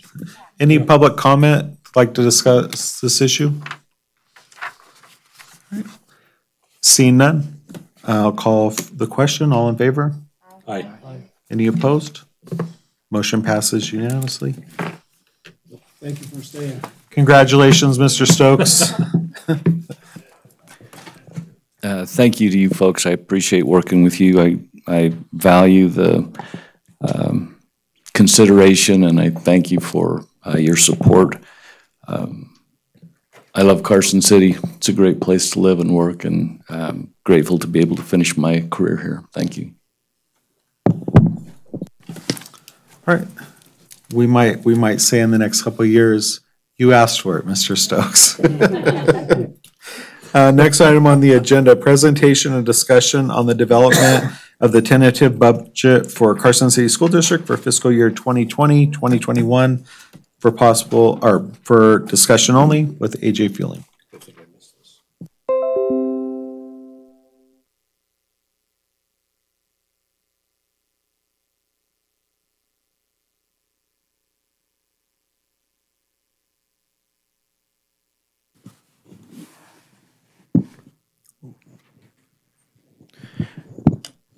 Good evening, trustees. Uh, Andrew Feuling for the record.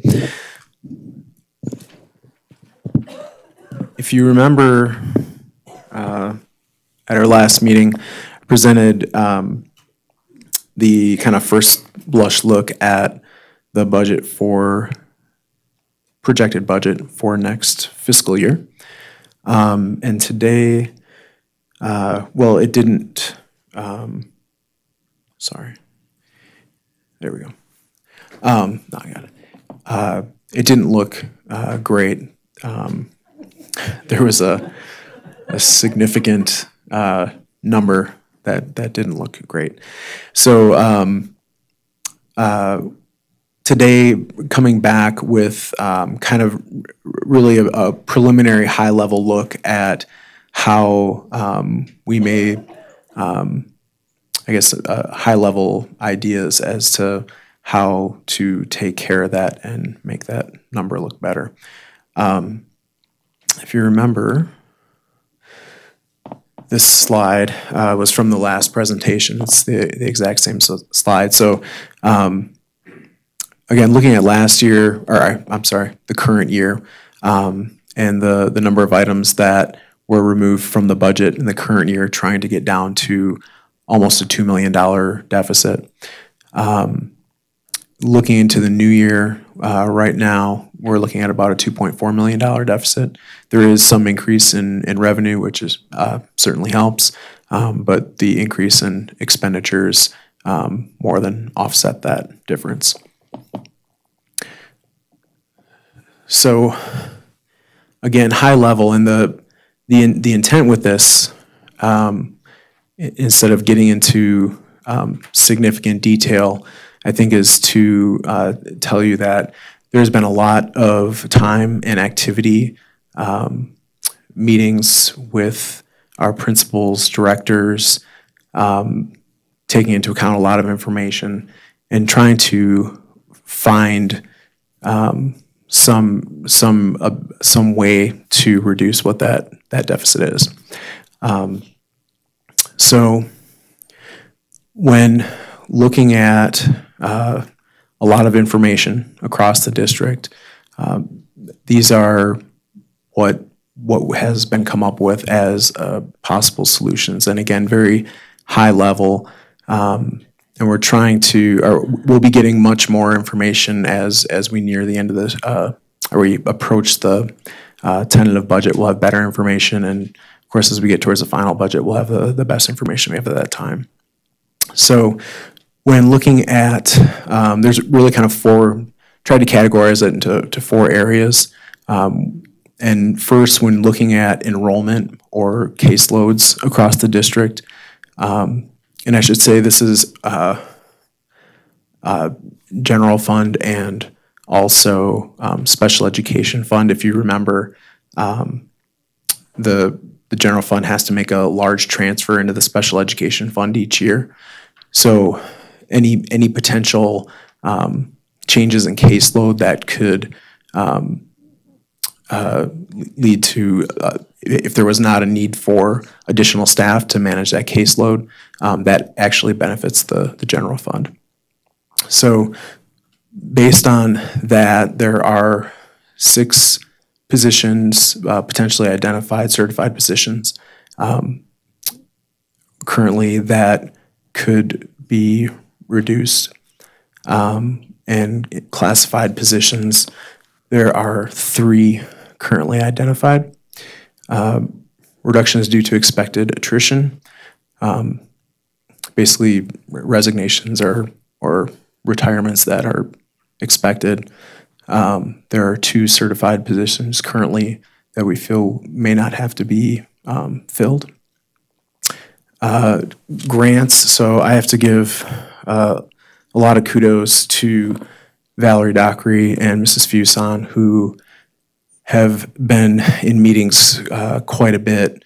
Um, we, we have, as you know, Mrs. Dockery has a talent um, for managing a grant and is in- incredibly creative um, in trying to find ways to, um, I guess, help this situation out. So she has identified um, 8.5 uh, positions that uh, can be absorbed into various grants at this time.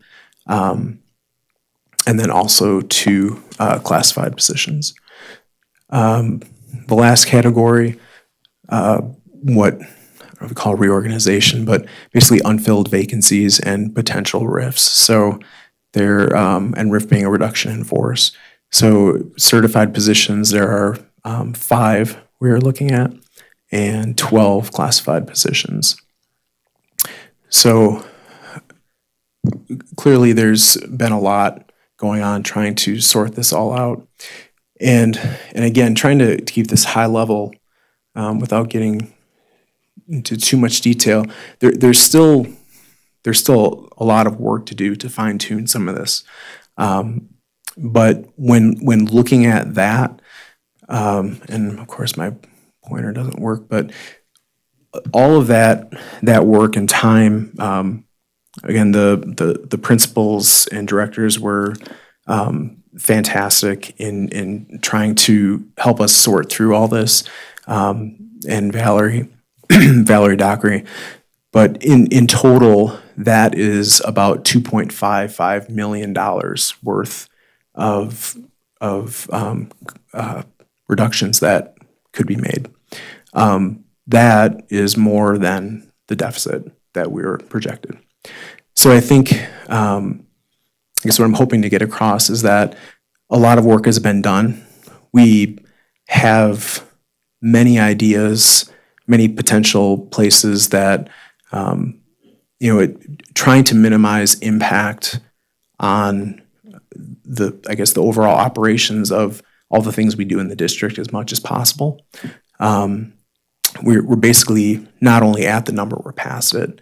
And so um, there's more, more talk um, that needs to take place, um, trying to look at are there still other options, maybe less impactful options.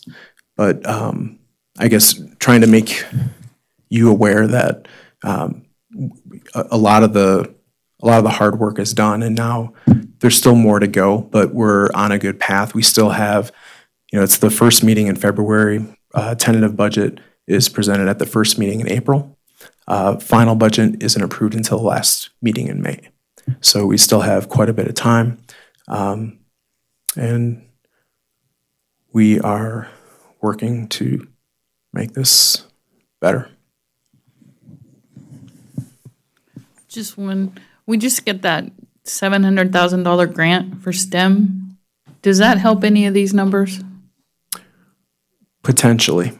Um, so that's, you know, one of the, in all this, clearly there's a lot of staff impacted. Um, in all of the discussions, the the options are, are as these positions come up, it's where else might there be a, a position that that could be filled, um, so that there is a, a position within that grant from Tesla over the next three years, and that that is one of the options that we've talked about.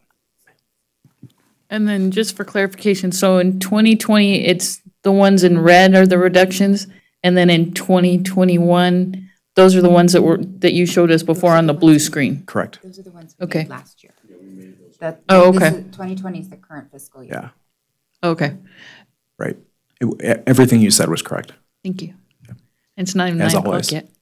And then the other thing is, if we have to riff, what date is that, that we have to look at that to riff?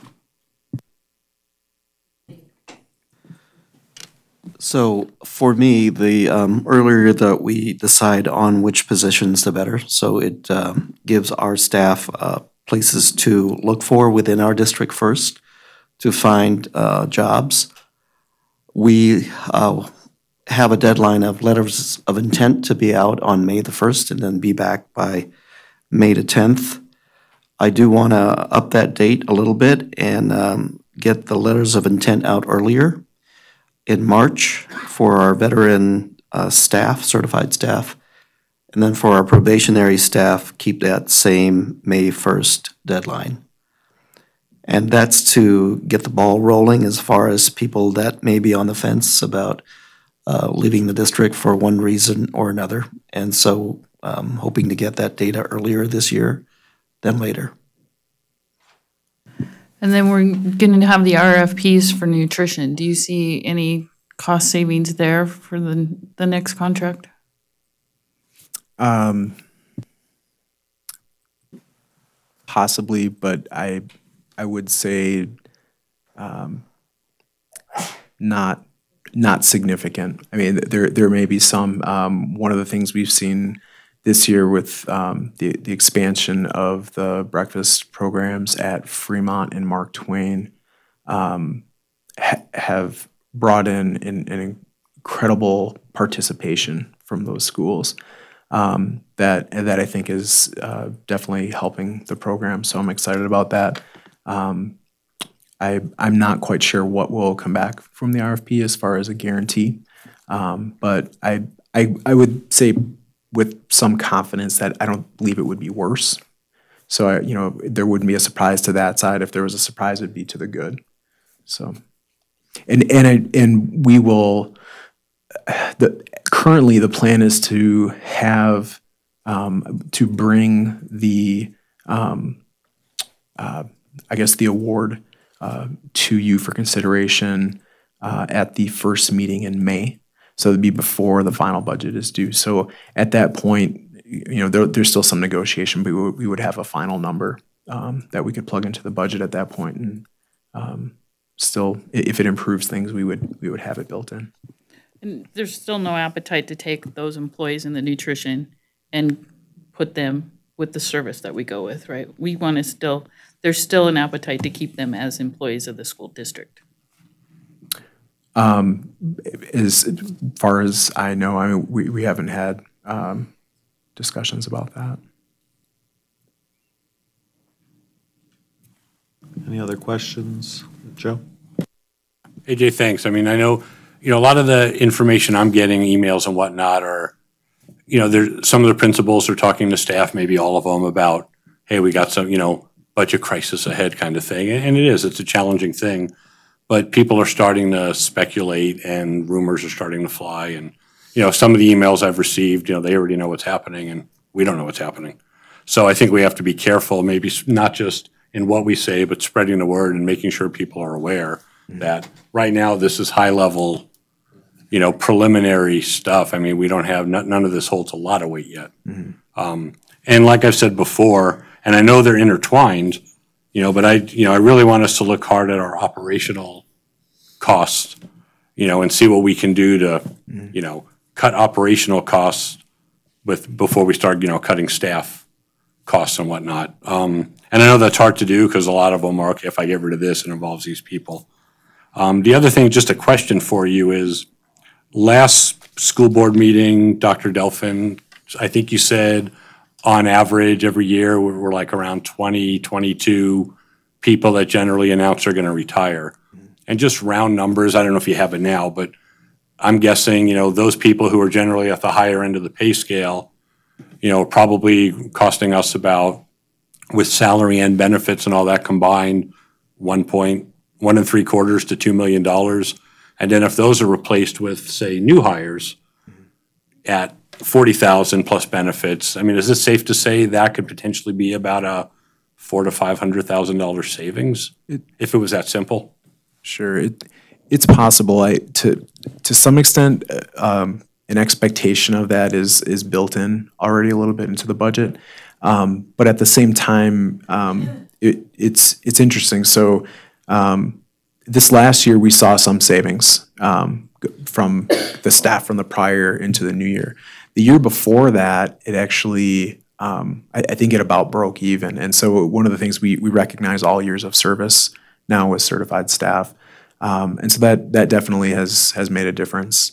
Um, but I I I would think that over a longer period of of time for a sample size, it's probably more, much still more likely we would have a savings year to year because of that turnover rather than have uh, an increase. So, um, but yeah, that that definitely is in consideration. And um, uh, as as Dr. Delfin, you know, each year it seems like between the the two new orientations we have, we have about 90, 80 to 90 new people in the district. So, um, you know, in, in any given year, that that could generate substantial savings just having new folks in. So, yeah, that's definitely definitely being considered.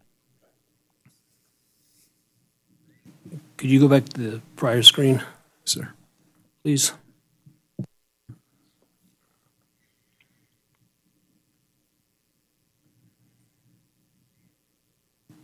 Would the plan be to take some of the certified staff and classified staff and you can have people retiring, right?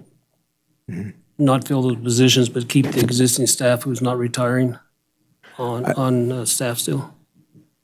Uh, So. I I guess let me clarify that a little bit. Okay.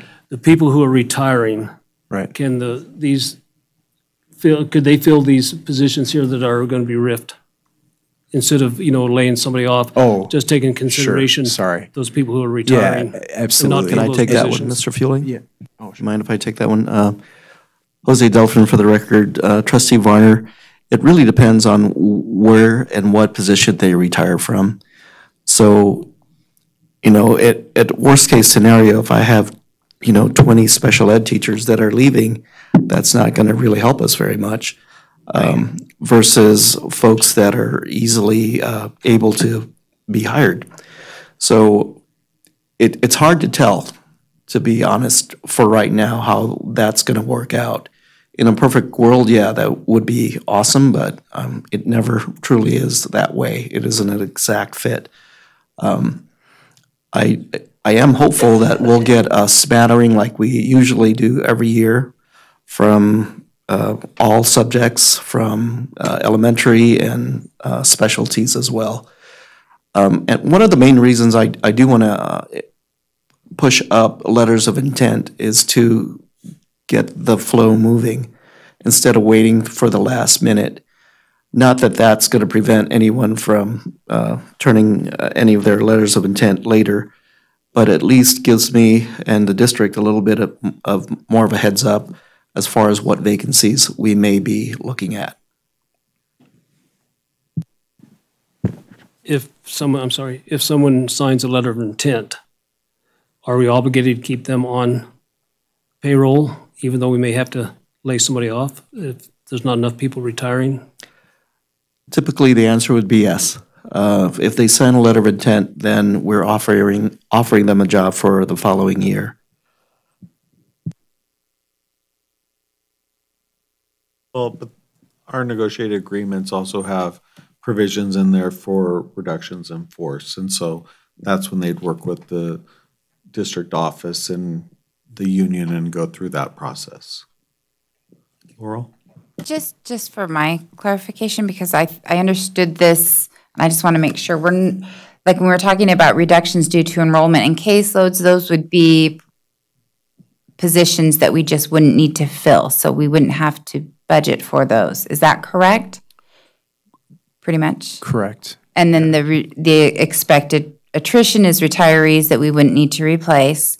And absorbed into grants are people not losing their positions, but then coming out of the general fund and being paid for. So really, the only potential rifts are the 17 at the bottom, possibly. Is that correct? Um, I think Mr. Stokes wanted to speak to that. oh, did Okay. Thank you, thank you, Mr. President. So even in the slide before this one, um, we saw that there was this $2.4 million deficit. We didn't just think we had to meet that or, or come up with the $2.55 million to, to try to meet that deficit.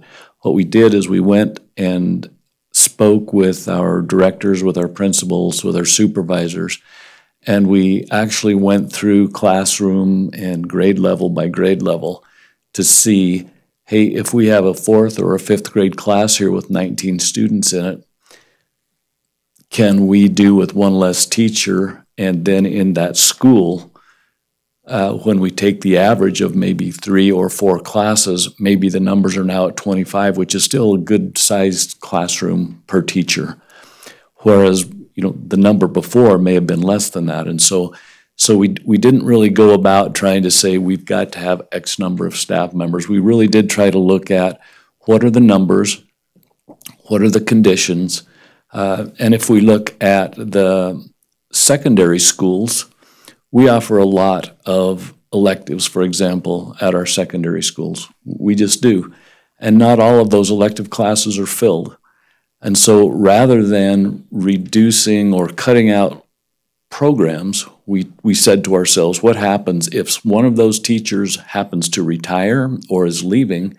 Can we just not have that particular elective and add more students to the other existing electives that are there? And so we really did try to take a look at what makes sense. Um, we appreciated the grant funding aspect of this. So because of the fact we have that grant fund that needs to be spent before a certain time, uh, and in some cases, those grant funds have to be given back if they're not spent. So that was another place where, again, thanks to our staff, we were able to make some modifications that took those positions out of the general fund, but still allowed us to keep the program. So, so at every turn here with this particular process, we've we've tried to look at things that we knew were meaningful to the district, that were meaningful to the schools, that were meaningful to the folks in the community, certainly to our staff and to the board. Um, but but we also wanted to couch all of this work in the fact that other things will happen between now and the final budget, and we'll we'll keep sharpening the pencil. We'll keep trying to say, can this replace maybe one of those staff members up there? But our goal really is not to do harm to the district, but to live within the means that we've been assigned. Well, and I think, you know, this is one of the things that I keep saying, and I think it needs to be said, this is, we have a very full school district. We have a successful school district, and I think that we're being forced to really live within our means in a way that's going to impact our programs and what our schools look like. And I think that people really need to talk to their legislature uh, members and let them know, you know, this funding, if it stays the way it is, this is year one you know, we still have negotiated agreements with increases in pay. We still have step increases and column increases, and those are going to cost. health insurance. Health going insurance. I mean, there's a number of items which are only going to make this matter worse as we go to year two, three, year four. And so really, we need, we need to hope that our legislature comes through and takes care of the districts that aren't in the top two districts, size-wise. Tasha? President Walker, if I can address um, a a statement made by trustee Cacioppo, Tasha Fuson for the record.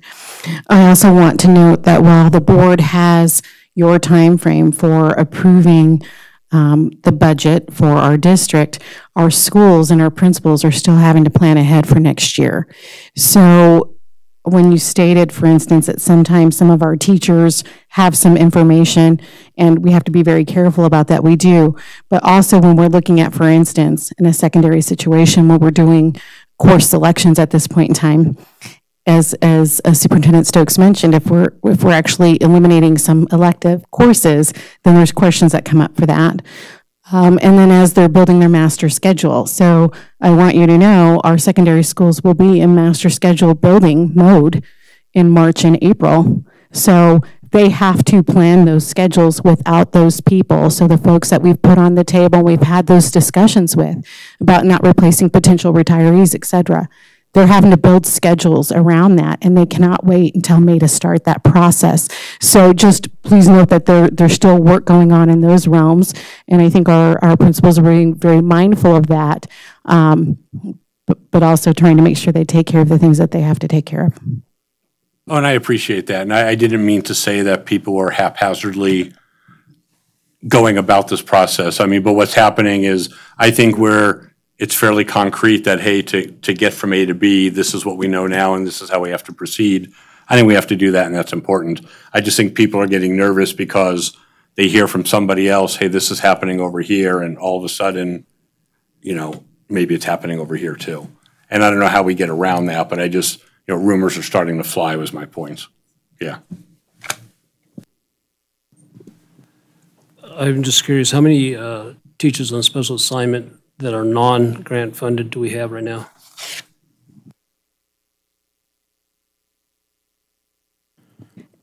As of this year or going into this budget planning for next year?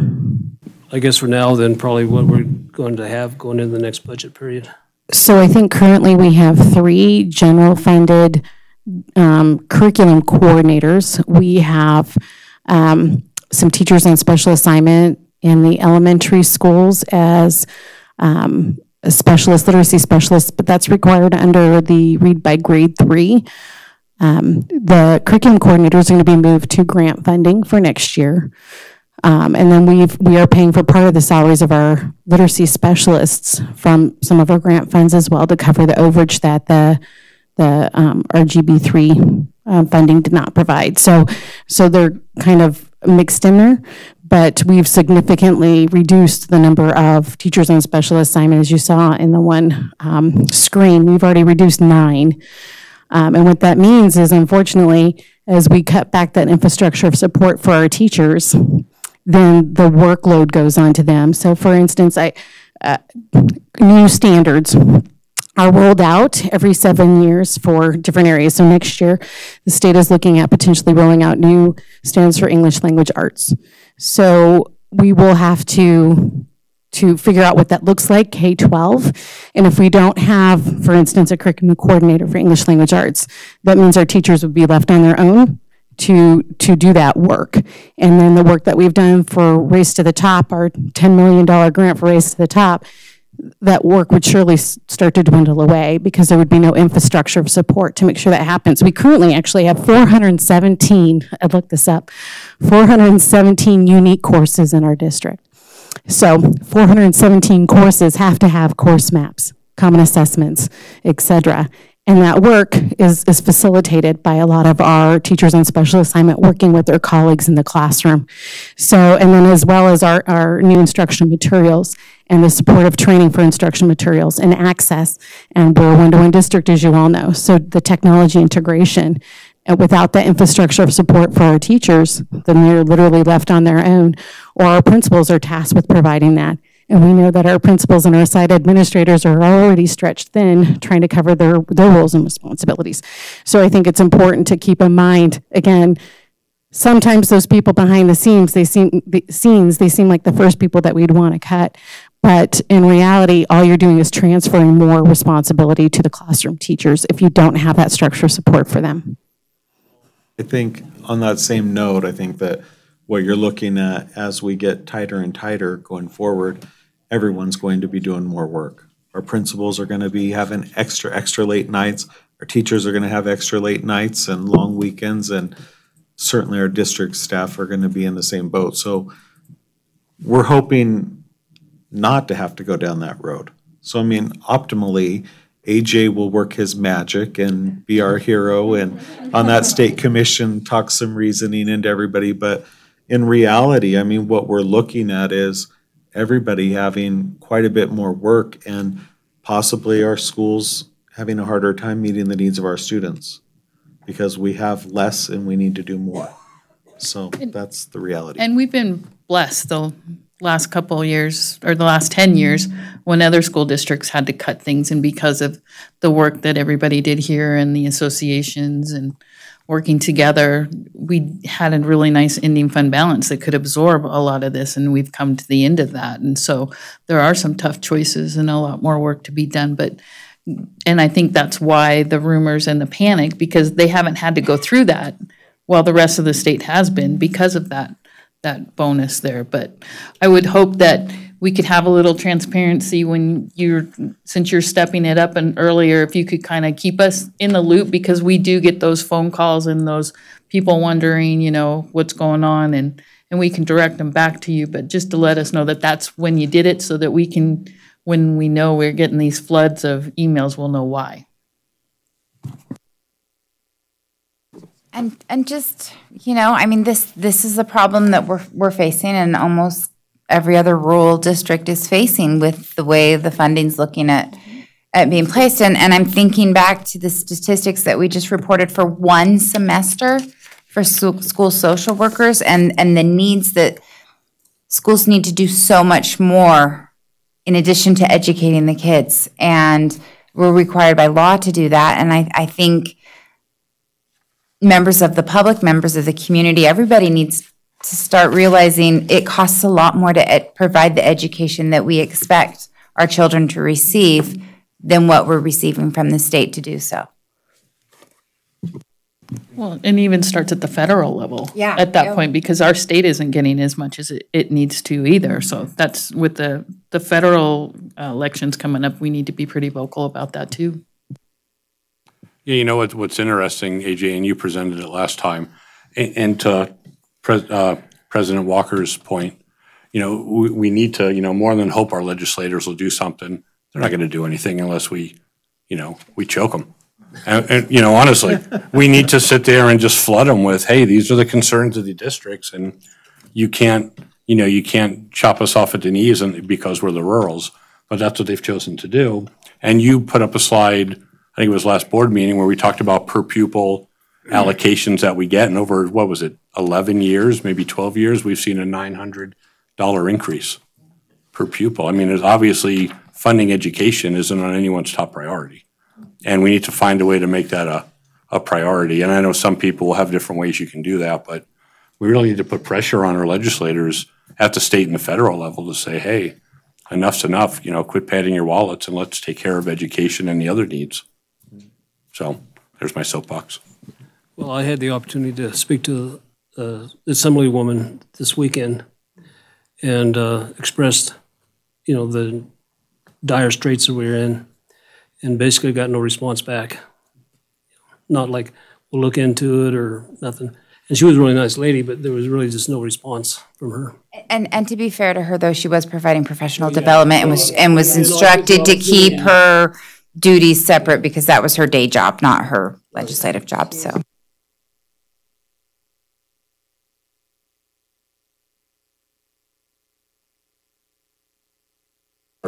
So certainly, AJ, you have, you have a very tough job, and I know that there's a lot of work going into this, and Mr. Stokes and I have talked about this a couple times also in our meetings, so it's, we appreciate what you're doing, and like I'm, like I said, I'm hoping that some more money pops up somewhere and we don't have to do this, because we know our number one priority is to keep as much staff in, in these jobs as we can, so. Thank you.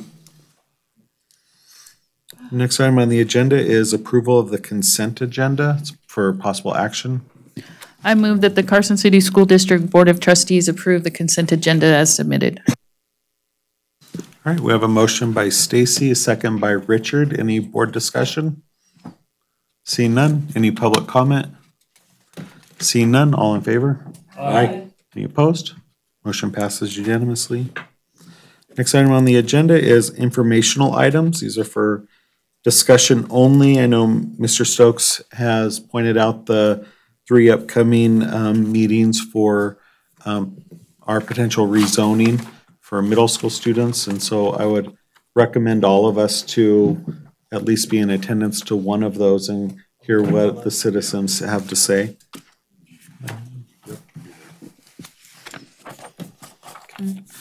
Uh, next item is requests for future agenda items or topics.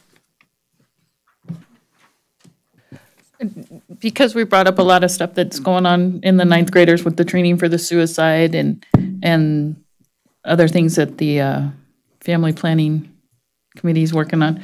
Could we just have an update maybe on what that ninth grade transition class looks like? And if it's still effective, or if we need to do something else there? Well, and I guess my question would, that would be, the health classes also, it's, it's half health, half Right. transition, so Right. does, do you want an update on No, both? not health, uh, well, I guess it is kind of the, thor- just kind of what the transition class is doing, because I'm sure it goes into the health, but just so that we have, because I still get questions about if it's really effective and useful for our- our ninth graders. So trustee Wilkie, the um, freshman transition class is a semester class and it's paired with another semester class, which is health.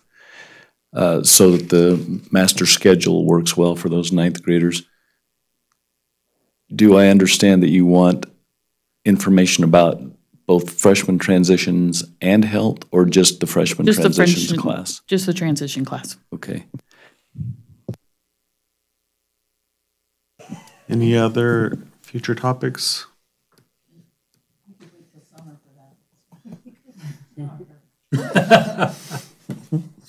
All right, seeing none, we will adjourn this meeting at nine oh seven. Thank you, everyone. Enjoy a four-day weekend.